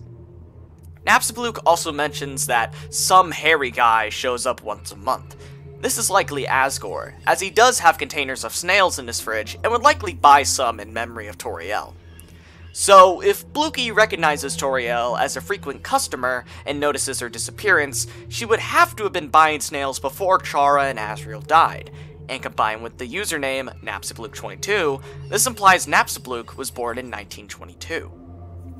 How are ghosts born, anyways? True Lab Power Source. In the dark depths of the True Lab is a machine that, on first glance, seems to be powered by a human soul. However, lots of evidence points to the fact that this isn't the case, because it's said by flavor text that this only powers the elevators. And if there was a human soul in their possession, why wouldn't they, you know, have broken the barrier already? It's just very strange that this bright red heart design is used for this, both in-universe and from a narrative perspective. In-universe, this is to power an elevator. It doesn't need this fancy design. And from a narrative perspective, it's odd that the epitome of a human soul design is used to represent something that is not a human soul. Unless I'm wrong, and Alphys has some even darker secrets to her name. Snowdin banner disappearing. After you kill Sans, if you backtrack to Snowdin, the welcome sign is entirely missing. There's still collision as if the sign was there, but you can't read it. If this is a bug, how does this even occur? Well, considering the fact that Sans told you he was going to Grillby's, maybe he took the sign? But for what? To bring with him to another world? This one is so weird, dude. Undertale can tell when you're recording. Some players thought that the monologue Flowey gives you near the end of the genocide route is proof that Undertale records you. This isn't true, however. It's a byproduct of people watching Let's Plays and not actually playing the game for themselves. Quantum Egg Theory. Okay, listen. I'm not a physics professor, and honestly, I don't have the knowledge or time to summarize all of this effectively. This is a theory proposed by Reddit user Aura Off, and I'll leave a link to this theory in the description. I'll read the TLDR, but I implore you to read the full thing in the description. The egg is an item given by Gaster, with some special properties that are strongly related to quantum superposition. The egg is located in a combination of several places, and can be seen at one of them upon observation. It is very likely that someone infers on the egg's final location, as it can remain permanently on a location. On a same note, the fun also seems to be based on quantum superposition, through the many worlds interpretation, as its fun timelines represent different branches of the universe with equal chances to appear and collide with our timeline, resulting in fun events. Gaster and Co. are most likely the ones behind the egg's odd behavior, as some of them are hinted to have some knowledge or expertise on quantum physics. Finally, the egg is also a message in Wingdings, possibly hinting at the knight's true identity. Inverted Deltarune on Toriel's house. The Deltarune above Toriel's house has the three triangles facing the other way than they were originally. Although this is the only area in the game you can find this, you can also find this in the last corridor above the entryways in Undertale. The egg from Papyrus's date is the same one in Deltarune. This detail is a strange one. Why exactly is there an egg during Papyrus's date? Well, could it be related to the egg in Deltarune? I mean, Gaster is possibly related to Papyrus, so... I mean, there are other instances of eggs in Undertale and Deltarune, but this one sticks out to me. I don't know what it is.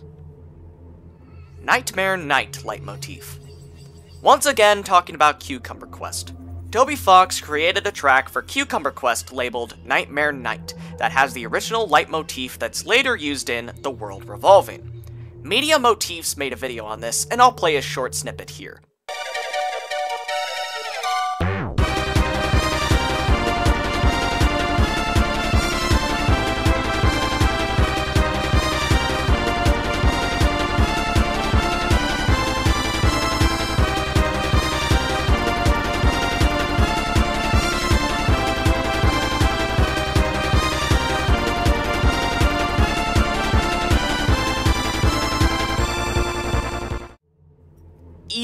Toriel. In the Undertale art book is a page with this sprite of Toriel with an evil smirk. Toby said this about it.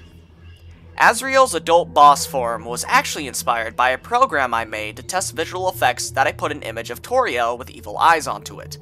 I don't know why I gave her evil eyes, but it looks so cool I felt like I had to do it in the actual game. Object Fake Froggit. This object is the Froggit that you first encounter before the spike path in the demo. It's different from the other Froggits for some reason. Maybe it has to do with the cutscene that plays after your turn? And why does it say fake in the name? Is it not an actual Froggit? PS3 port. A user by the name of Nick on the Underminers Discord server once made a working PS3 port for Undertale. It wasn't done on physical hardware, but an emulator, but it does have screenshots to prove its existence. Big Wiener Zone in Hall of Failure. okay, you heard that right. The Big Wiener Zone and Hall of Failure were areas designed for the playtesters to test bullet patterns for Mettaton. We don't know much about it besides this, as it seems most of the code for it was dummied out before release, unfortunately. You're really eager to die, aren't you? Some unused dialogue used in an encounter with Undyne goes as follows give up your soul, or I'll tear it from your body.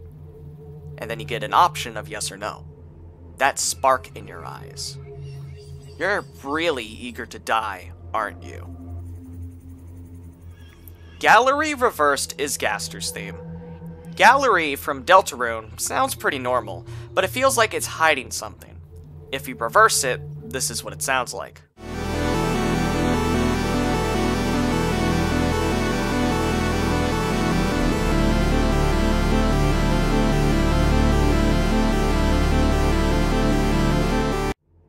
Is everywhere. Unused sprites in Cross Stitch book. Yeah, there's an Undertale Cross Stitch book. This is news to me. In the book are a lot of typical sprites you'd expect to find, but also some original sprites made for the book, such as this space background when you're feeling like trash with Blooky. There's also some officially colored battle sprites available to cross stitch, but a note says, these colored battle sprites aren't canon, but it might be fun to stitch if you get tired of just black and white.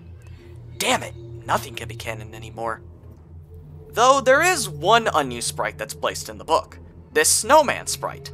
This appears in the game's files, but this is the first time it's ever officially used. Named redacted in credits. In the credits of Undertale sticks out a strange name from a Kickstarter backer. Name redacted. Someone specifically requested to be named this, and you know what? I vibe with it. Gaster blasters on Hotland doors. This is very hard to tell, but on certain doors in Hotland is this glowing design that resembles a one-eyed Gaster blaster. Considering we're in Hotland, which is near the core, the Gaster blaster symbol makes sense. Deltarune line stickers give future plot details.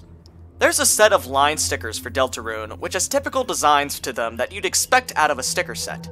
However, some of the designs in the stickers feel too specific. For example, there's one sticker of Noelle running with a piece of toast in her mouth, and Susie is in the background, implying Noelle is going to run into her in the typical anime schoolgirl fashion. There's another sticker of Noelle looking down and asking, Are you okay? while offering a candy cane. This could be a sequel to the previous sticker, with Noelle helping Susie back up after they bump into each other. Now, you could probably just brush this off, it's a ship tease and nothing more, but what about this sticker? Noelle is cast in shadows and kneeling while saying, the, That's not like you. Seriously, I have no idea what this sticker is for other than give away a part of the plot. Noelle doesn't say this, and if she does, it's not in this dramatic way. And besides, how are you supposed to use this in a conversation?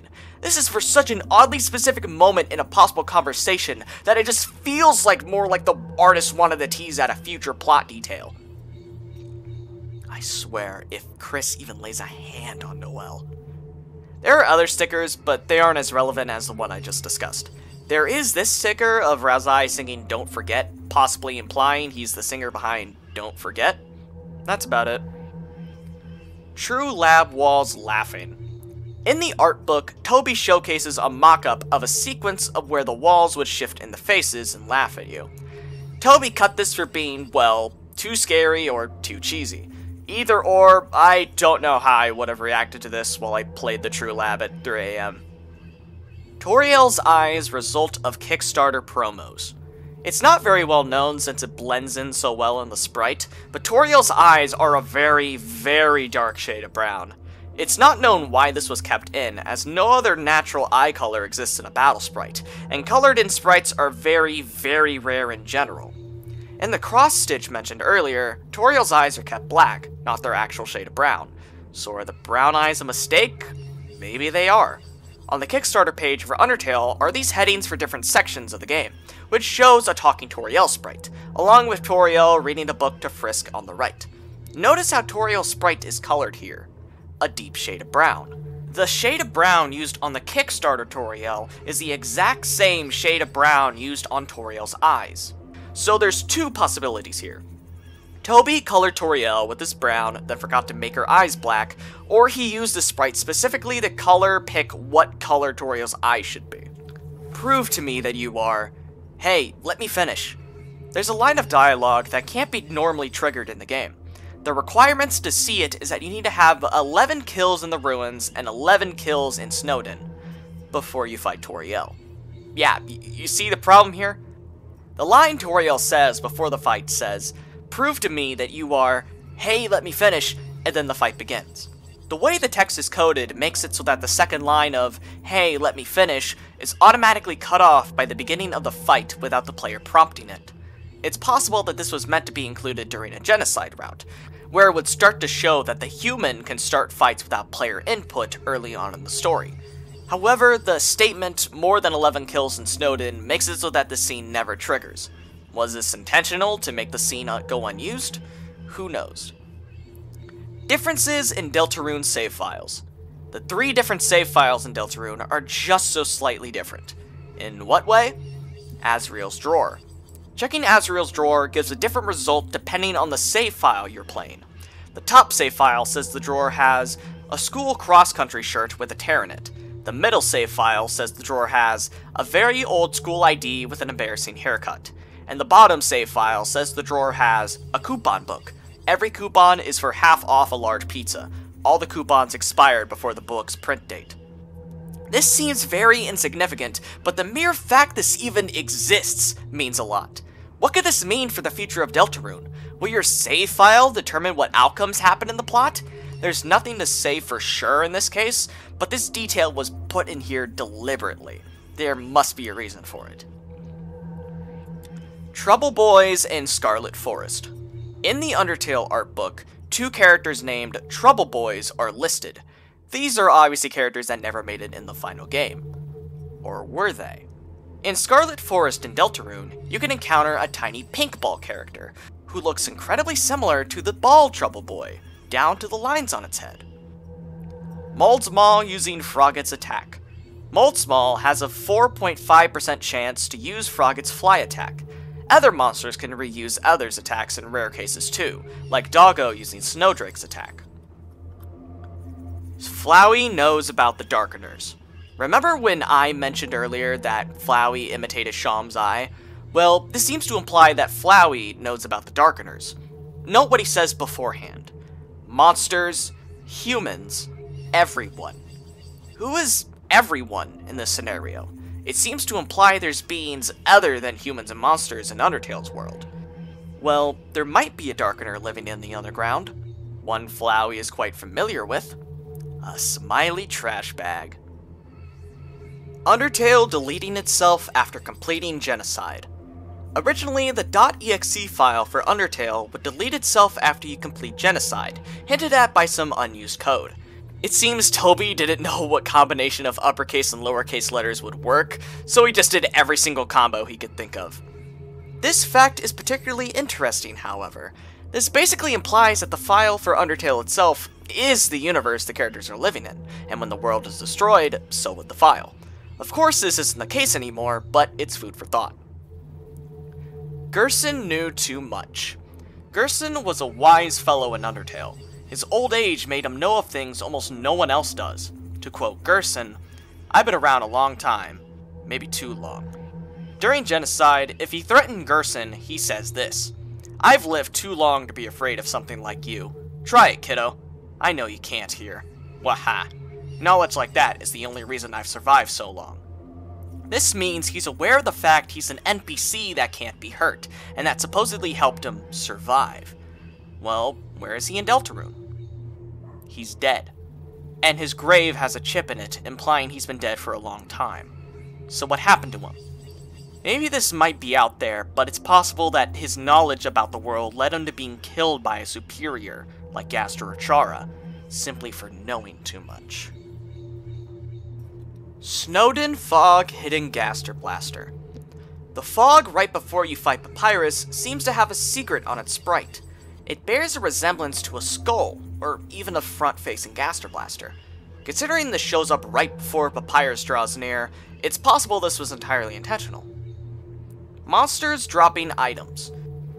Within the code for monster encounters, there's unused lines that suggest that monsters would have been able to drop items upon being killed, with different rarities for items and how many items the monster would drop. It's unknown why this was cut.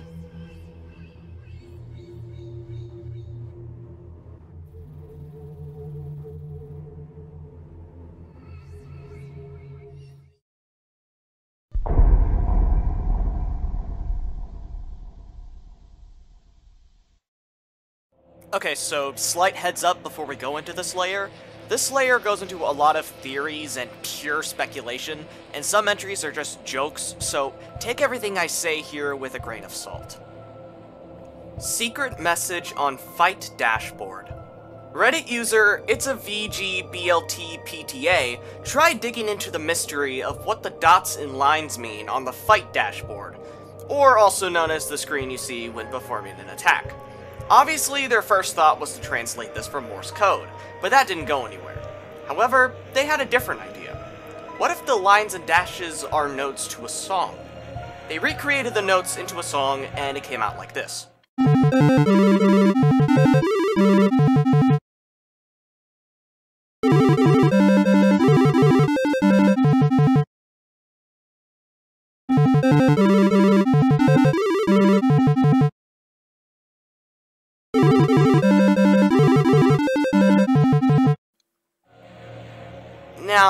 Sounds like meaningless garbage, right?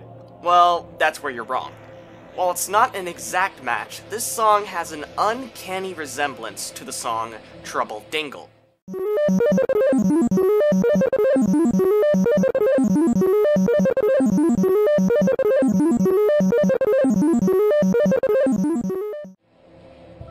The art book is censored. If you've ever read the art book, you might have noticed something strange. There's not much secret content that's shown off. Sure, there's information about Asriel and Chara included, but not much of the really closed off, hard to get secrets that hardcore fans are familiar with. There's no content related to Gaster, or the things that he may or may not be related to, such as his followers and the stable, for example. There's no information about the memory heads or even Sans related mysteries like the Gaster Blasters and his workshop. What's even weirder is that, for a short time on Fangamer, the description for the art book said that there would be 255 pages, and not the actual count of 225. Was this a simple mistake, or was it a clue that there were removed pages from the art book? Being evil is encouraged. This encouragement isn't exactly direct, but the game does subtly try to push you to try the evil options. Undertale is about the fact that nobody has to die, but because of that, people became interested in the opposite side of the coin. If everybody dies. Characters in the game, especially Sans, consistently tried to discourage you from doing the wrong thing. Which just makes one curious. The best way to describe this is reverse psychology. Characters telling you not to do the wrong thing subtly encourages players who want to do the wrong thing just to see what would happen. Flowey mimics Gaster's face. Tumblr user Skeleton Dumbass Central pointed something out about Flowey. One specific face Flowey mimics has a striking resemblance to Gaster, which implies that Flowey knows what Gaster's face looks like. What's more interesting is that the next frame of his face is this. Does Gaster do this too? Delta ending. Tumblr user Save Load Reset proposes a theory about Undertale and its three main endings. So, remember the prophecy? Let's look at the exact words from the prophecy again. An angel who has seen the surface will come, and the underground will go empty. If we apply this to genocide, this seems to line up. Frisk, Chara, and Asriel have all seen the surface, and at the end you destroy everything, essentially emptying out the underground, right? Well, the symbols of the Deltarune make no sense if the genocide route was the prophecy. Who's the angel? It can't be Chara, they're a demon. And what do the three triangles represent? Well then, how about the true pacifist route? Asriel certainly turns into an angel-like figure, and he absorbs the souls of everyone in the underground, right? Well, about that. Napstablook wasn't absorbed by Asriel, so the underground didn't truly go empty. And even then, when everyone leaves to go to the surface, Asriel gets left behind. So, is the prophecy bogus then? Is it a red herring? Well, consider this. Undertale has three main endings neutral, true pacifist, and genocide. Delta is the Greek letter for four. Maybe someday there will be a new ending added to Undertale that truly fulfills the prophecy. He is in late summer 2017, a new update was issued to Undertale, 1.05a. This update only added two things to the game. The version number changing to 1.05a on the title screen, and some ominous unused text that just says, He is. Hidden lore on backside writing of Toby's notebook. In multiple pictures where Toby showcases doodles in his notebook, the backside of the page can be read, as, you know, it's paper and pens can easily bleed through a bit. It's hard to make out the words, but some things can clearly be read, such as Dr. Alphys is the creator of the technology, probably a mad scientist, Grandpa Semi fonts. There's a lot of other things that can be read, but they aren't as interesting. But I'll still link the original Tumblr post discussing these notes in the description. This was, I believe, how people initially discovered Grandpa Semi, and deciphered that he was a planned character at one point. It's also interesting that Dr. Alphys was possibly planned as a mad scientist at one point, and she's the creator of some technology. Maybe this is the core, but maybe that's a stretch. Unrevealed Kanotynes characters. As we know, the Deltarune characters and enemies are based on a deck of cards by Kanotynes, However, you might have noticed that some of these characters haven't been shown off at all. Let's take a look at them. First off is a big one, the Spade Queen. Much like an actual queen card, she seems to have two heads with a body like cat dog. There were some brief mentions of the queen before, so maybe this is her? The other queens are never shown in the game, but are on this deck of cards. It seems the Queen of Hearts and the Queen of Diamonds follow the same two-headed design the Queen of Spades does. Meanwhile, the Queen of Clovers has four heads instead. Unlike what you might think, we actually do get to see the King of Hearts, the King of Diamonds, and the King of Clovers in the game. They're all trapped in the prison of Card Castle, and their designs do seem to match. It seems the King of Clovers has five heads as opposed to what we see in the cell. Royal Sciences LLC. Royal Sciences LLC is the copyright holder for both Undertale and Deltarune. What a strange name for a company. Happy Town Dictatorship. What if the people of Happy Town, you know, from the unused song Happy Town, aren't actually happy? They're forced to be happy. Ooh. This is stupid. Sans isn't the weakest enemy. Sans is in fact not the weakest enemy in terms of his stats. The real weakest enemy is Ice, which is what Ice Cap turns into after you steal his hat. Ice's attack stat is 1, while his defense stat is 0, below that of Sans. The Red Jester. This is a theory that stems from the fact that Deltarune is inspired by a deck of cards. In a usual deck of cards, there are two Jokers, and Jevil is partially black, so he's the Black Joker, leaving red. Could a Red Jester be an upcoming chapter of Deltarune, possibly being another variant of Jevil? Flowey impersonated Asgore when Alphys called about evacuation. One strange detail about Genocide's plot is that Alphys never calls Asgore like Undyne says she would. Why is that? There's no reason for Alphys not to. There's nothing benefiting her for doing so. So is this a plot hole? Well, there's a theory that could patch up this small hiccup. Flowey is very adamant about helping the player during Genocide, so what if he impersonated Asgore on the other line of Alphys' call to him? Asgore would have no idea Alphys called him, Alphys would think everything is okay, and Flowey would do something to further benefit the player's murderous needs. I'd say this is a pretty decent theory that gets rid of this minor plot hole. PP variable. Hidden in the files for the sand state is the PP variable. It has absolutely no purpose. Man, we're getting into the real spooky shit. Plaid attacks. In the files is some unused dialogue from an NPC that tells you how to dodge orange attacks. That skeleton over there just told me how to dodge orange attacks. What did he say? Something like, traffic lights have three lights on them. The third light, the green one, means go. The first light, the red one, means stop. The second light, the yellow one, means yield. In order to dodge an orange attack, you must be moving. So just think of it this way. Red and yellow lights together make orange. Then you obey the rule of the leftover green light, which means go. Easy, huh? Just think of a red and yellow traffic light, which is actually green. Yeah. Then he started talking about plaid attacks. We still have never gotten a fan game that uses plaid attacks. So, get on it, fan game makers. The egg is a parallel to Adam and Eve.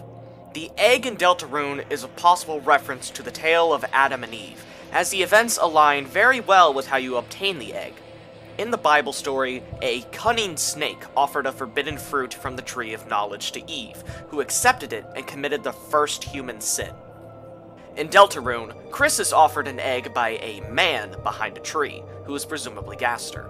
A lot of biblical scholars speculate that the snake in the original Adam and Eve story is actually Satan, taking on a different form in order to fool Eve.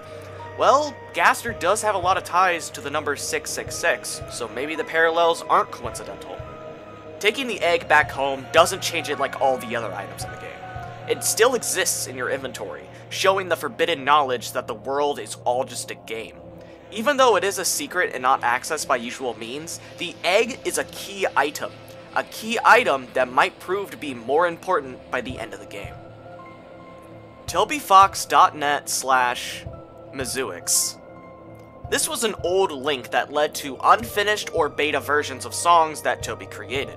The directory wasn't meant to be found, and when Toby was questioned about it through email, he said, I don't really care, it's just stuff I share with my friends. This link doesn't work anymore. so needless to say, I think Toby cared at least a little bit. Some music from the site has been re-uploaded to YouTube, but I won't play any of it or link it out of respect for Toby. I'm sure he doesn't want people to find songs he never meant people to find. You can search for it if you want, but that's on you to decide. By the way, don't go to the actual link itself, because the site led me to a scam website that I'm pretty sure tried to give me a virus, so don't go to that link just to be safe. Pippin's and King Uprising cutscene. In the cutscene where the Darkeners overthrow the Spade King, there's multiples of an enemy that resembles a diamond. This character is never mentioned anywhere in the game, and it's never even given a name as far as I know. However, there's an unused enemy within the game that could be this very enemy. This cut enemy's name is Pippins. There's not many unused enemies, and almost all of them are previously established characters, so it's highly possible that this unknown enemy is Pippins. Toby Fox makes Siva Gunner rips. Siva Gunner is a channel known for making meme versions of video game OSTs, calling them high-quality video game rips. Undertale is the cornerstone of this channel. It is currently the second most ripped game on the channel, with over 400 rips, behind King for Another Day's ridiculous 770 rips. Some submissions to the SiIvaGunner channel are entirely anonymous, but a lot of rippers are known. However, what about the ones that aren't known? What I'm saying is, what if Toby Fox made Undertale rips for the channel? There were some rumors that Last Goodbye was by Toby, but this was debunked. It's not off the table, however. If Toby were to do this, the only people who would know would be him and the SiIvaGunner team, who would respectfully keep his identity anonymous. Duel Buster. There is an unused attack in the game files named Rude Sword, which is identical to Susie's Rude Buster, except it doesn't use magic, so it's a bit weaker. However, in a test fight against Monster 1, if you use this attack, it becomes Duel Buster, which requires both Kris and Susie to use. Undyne is a rock killer. So it's implied through the early parts of Undertale that rocks are sentient in some form. In Snowdin, we see a rock that somehow appears and disappears in a scene, Sans has a pet rock, and in the ruins, a rock just straight up talks to you. Later, in Waterfall, you come to a room where rocks are falling into a void endlessly, which is weird considering that rocks are alive. So why are they falling here? Well, you find out through a phone call later that Undyne put those rocks there. So it's possible Undyne has a body count consisting of nothing but rocks. www.deltarune.com slash him.png Through archived links on the Wayback Machine, we can find that the page deltarune.com has existed ever since 2015. The entire page is pitch black, but clicking in the top left corner reveals an image titled him.png. It's pitch black just like the website, but brightening it reveals wingdings that translate to Three heroes appeared to banish the angels' heaven. Underbound 1 Since Underbound 2 is supposedly the early version of Undertale, what was Underbound 1 like? Nothing. There's no Underbound 1 or Underbound 2. Life is full of sarcasm. And lies. Bloxers parallel the vessel. The Bloxer enemy has a way to spare it that involves lining up its scrambled body parts and rearranging them into a correct pattern. Where else can you scramble body parts? The vessel making sequence. You have three different body parts to change on your vessel, much like how the Bloxer has three scrambled parts the head, the body, and the legs. Its check information is also interesting. Loves training, hates body being the wrong shape. This is my own personal theory, but perhaps this is hinting at Kris's body being different than the one you made during the vessel making sequence, and their body is the wrong shape to them. Hashtag dysphoria. Undyne had control of the timeline at one point. This is a minor theory by Tumblr user The Irkin Pony, and I'll simply read their post here. In Undertale, it's said that it's been a long time since any human came to the underground, implying that there's been a relatively wide gap between when the sixth soul was collected and when Frisk came to the underground, at least compared to the span of time between the previous souls. It's said that whoever has the most determination gains control of the timeline, so the sixth human must have stopped being the most determined at some point. We also know that Flowey was created fairly recently, while Alphys was experimenting with determination. This implies a span of time between the sixth human no longer being the most determined and the creation of Flowey. We also know of one monster able to naturally generate determination. Conclusion. Undyne had control of the timeline at some point. Changed my mind. When Deltarune connects to Undertale when installed, Room Water Redacted will be updated. Okay, fair warning, this is a massive crack theory, so take this with a grain of salt.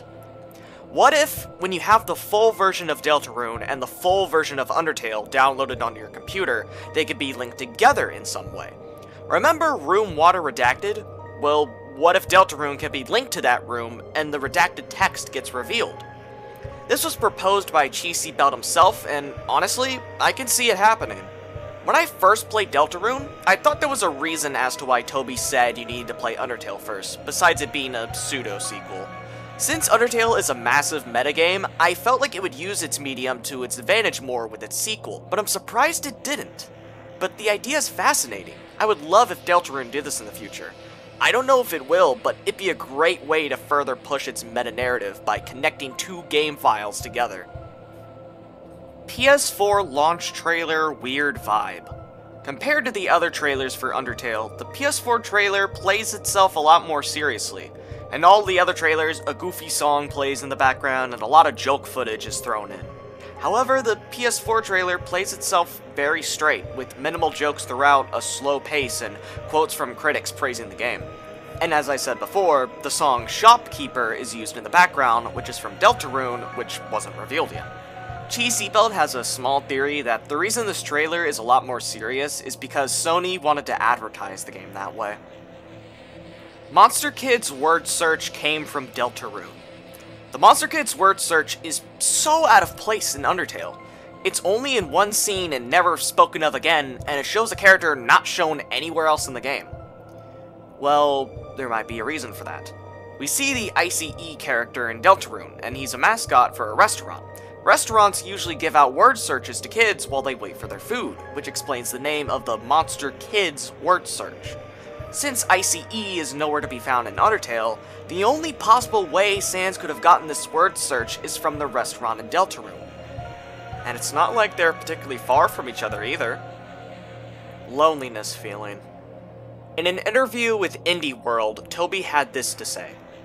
I was going to make the cell phone a character who would be able to talk to the player. However, I felt the loneliness of the game was damaged because of it. This is a topic about Undertale that's not discussed as much. The game is very lonely. Yes, it sounds stupid when you consider the countless characters you encounter that try to befriend you, but also, none of them are your friends at first, and you are the only human in the underground. And your friends aren't with you throughout the entire game. Remember the unfamiliarity with the ruins? Remember the long treks through Waterfall's quiet visuals? Remember the walk to New Home and the elevator ride there? Remember the boat ride with the river person? Remember all of the moments you were truly alone? That was a majority of the game. You leave everyone you encounter behind, too. You leave Toriel with a teary hug goodbye. You leave Papyrus behind after a date. You run away from Undyne. You abandon Alphys after she spills the ugly truth to you. And even when you're with Asgore, it's just you and him at the end of the underground, having to do something that neither of you want to do. This feeling is even further exemplified during the genocide route. You're the lone human, killing everything in sight as monsters evacuate in fear, and at the end, you destroy the entire world, leaving nothing but the wind to accompany. Kris Mii costume leak. In December 2019, an anonymous 4chaner posted this to a board. Kris from Deltarune Mii costume. The Knight from Hollow Knight Mii costume. Fire Emblem Three Houses DLC pack. Included with it, Mii costumes, spirits, and a stage. There is no fighter. Screen cap this. Obviously, this never came to fruition, but later the same leaker correctly listed Byleth as a character and their alternate costumes, so maybe there's some validity to his claim of Kris as a Mii fighter. It's now speculated that this was from a list of considered Mii costumes and not a list of Mii costumes that were actually coming to the game. The save point is the true original Starwalker. The Starwalker guy you meet in Scarlet Forest looks remarkably like the save point you see in Undertale. So the save point is the actual true original Starwalker that came before this other Starwalker faker. Voiced headcanon's hive mind. Okay, well, there's no real hive mind involved, but a lot of people's headcanons for the characters' voices are nearly identical. The most major example is Sans Papyrus. Most people go for a deep Patrick-like voice for Sans, and a high Skeletor-like voice for Papyrus, and when that's not the case, it sounds wrong. Hell, even when I played this game for the first time, those are the exact same voices I imagined for them. This is probably because the characters' personalities and text box sounds shape a specific sound in your mind that usually ends up being the same with everyone else's headcanons. Other Halloween hack songs in future Deltarune chapters. We all know about how Megalovania got ascended from a ROM hack to being in an official Nintendo product, but consider the idea that other songs from the Halloween hack could be reused for other parts of Deltarune. Parts of the hack are being repurposed already, such as Kris's appearance, so it wouldn't be a stretch to say more songs could be lifted from that game for Deltarune. Here's an example. Wouldn't something like the id fit perfectly in a dreadful atmospheric segment?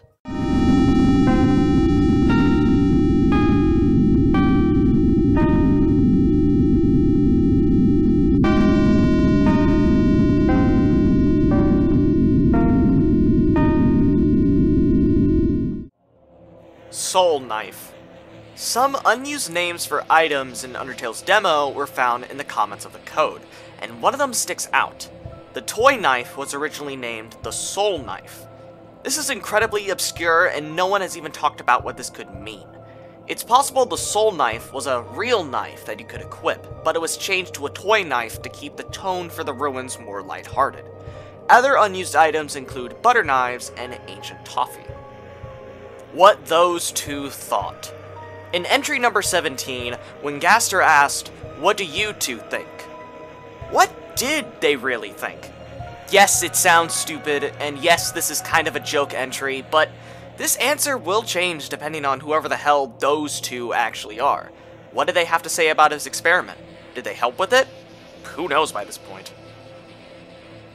Undiscovered Xbox One Secrets. The Xbox One version of Undertale hasn't been data mined yet as of making this video. There hasn't been any reports of Gaster in the Xbox One version yet either, and the Nobody Connected secret took some time to figure out. So it's possible there's more within Undertale's Xbox files just waiting to be found. Toby's website on the Wayback Machine is blacklisted. Toby Fox's old website, radiation.fabi.net slash Halloween, used to have several archives on the Wayback Machine, but that's not the case anymore. It's possible Toby himself requested to remove these archivals because it consisted of posts made by his old teenage self. The Undertale website is the same way. There's a massive gap between May 7th, 2013 and June 23rd, 2013 in terms of captures, meaning older versions of the demo are long gone and unable to be verified. It's possible this is the case because nobody knew what the hell an Undertale was in 2013 and didn't think to archive it. However, it's possible Toby had some influence in that. Why do I think that? Well... Lost Demo removed content. Tumblr user SaveLoad Reset claims that these sprites of Chara were data mined from incredibly early versions of Undertale's demo, but this can't be verified. Tumblr user Doge with a Bloge discovered the Wayback Machine's blacklisting that I mentioned before, and realized that any possible demo that had these sprites in them are entirely lost to time. And perhaps Toby wants to keep it that way.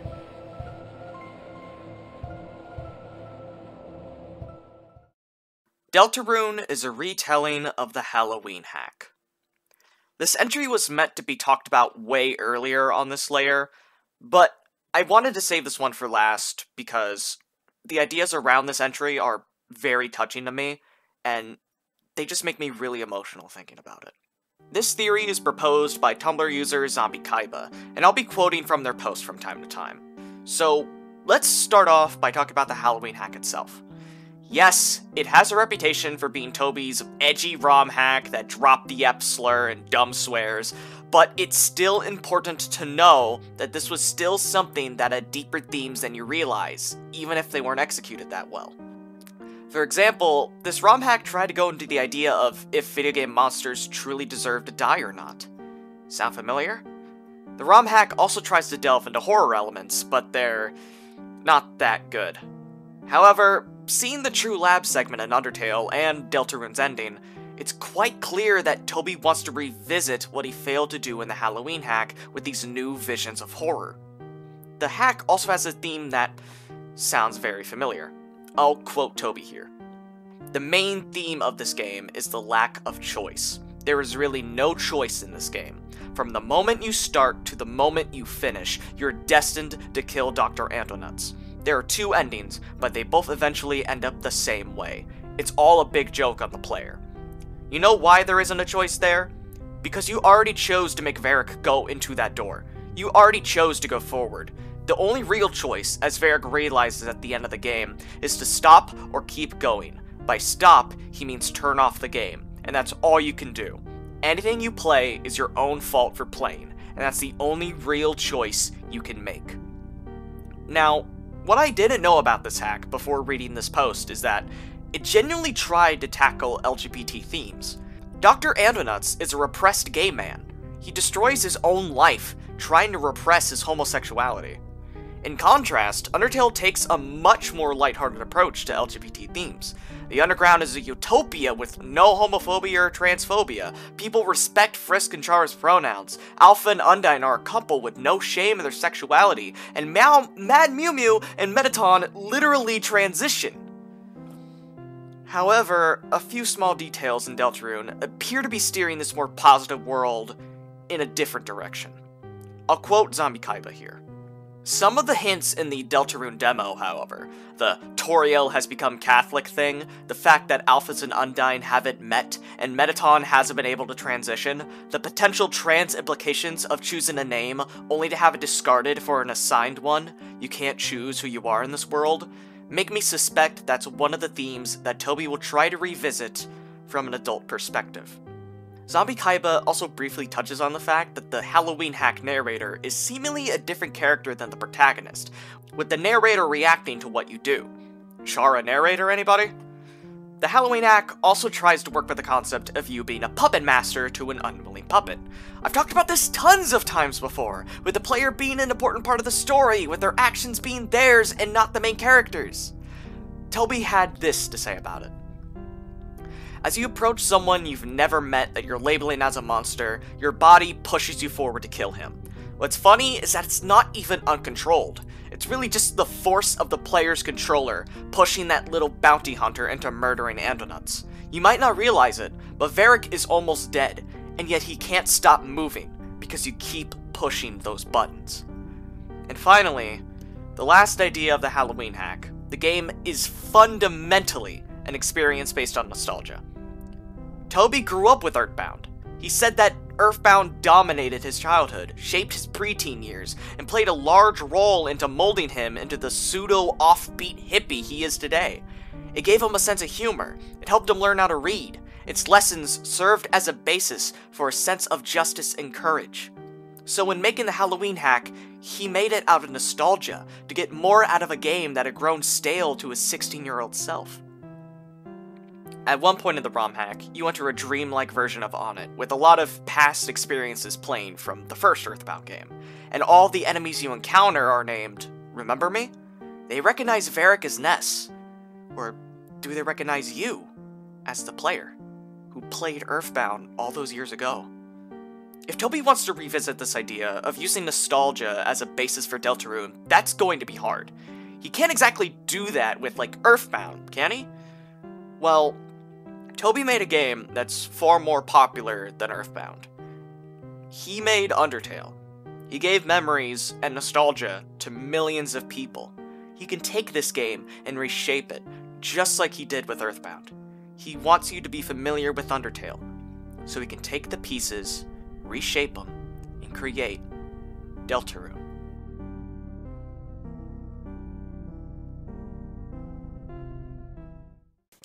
Hey, I just want to say, if you made it to the end of this video, thank you very much for watching. This video has been a pain in my ass. Oh, it's it's it's taken so long to actually finish this whole damn thing, and I am shocked I managed to finish it right before Deltarune Chapter 2 comes out. I, I seriously can't believe that it got announced in the middle of making this video. Like, what are the chances? What are the chances that Toby just knows I'm going to make a video like this and just decide to just outdate me the minute the video comes out? Oh, goodness. So, yeah, just thank you for watching. I really hope you enjoyed. I think this was a much better video than my first one. Uh, hopefully I'll make more Iceberg content in the future. Maybe I'll do some other stuff. Uh, I hope you stick around. I'm going to be try to stream Deltarune later on today, like ch chapter 2 I mean, and I hope you I hope you come around for that. it's not open right now, but I am considering opening up a Patreon in the future, so look out for that. And overall, just thank you again. this is very imp improv, if you couldn't tell. So yeah, I hope you have a great day. I hope Deltarune Chapter 2 is fucking amazing, and hope to catch you soon. Bye.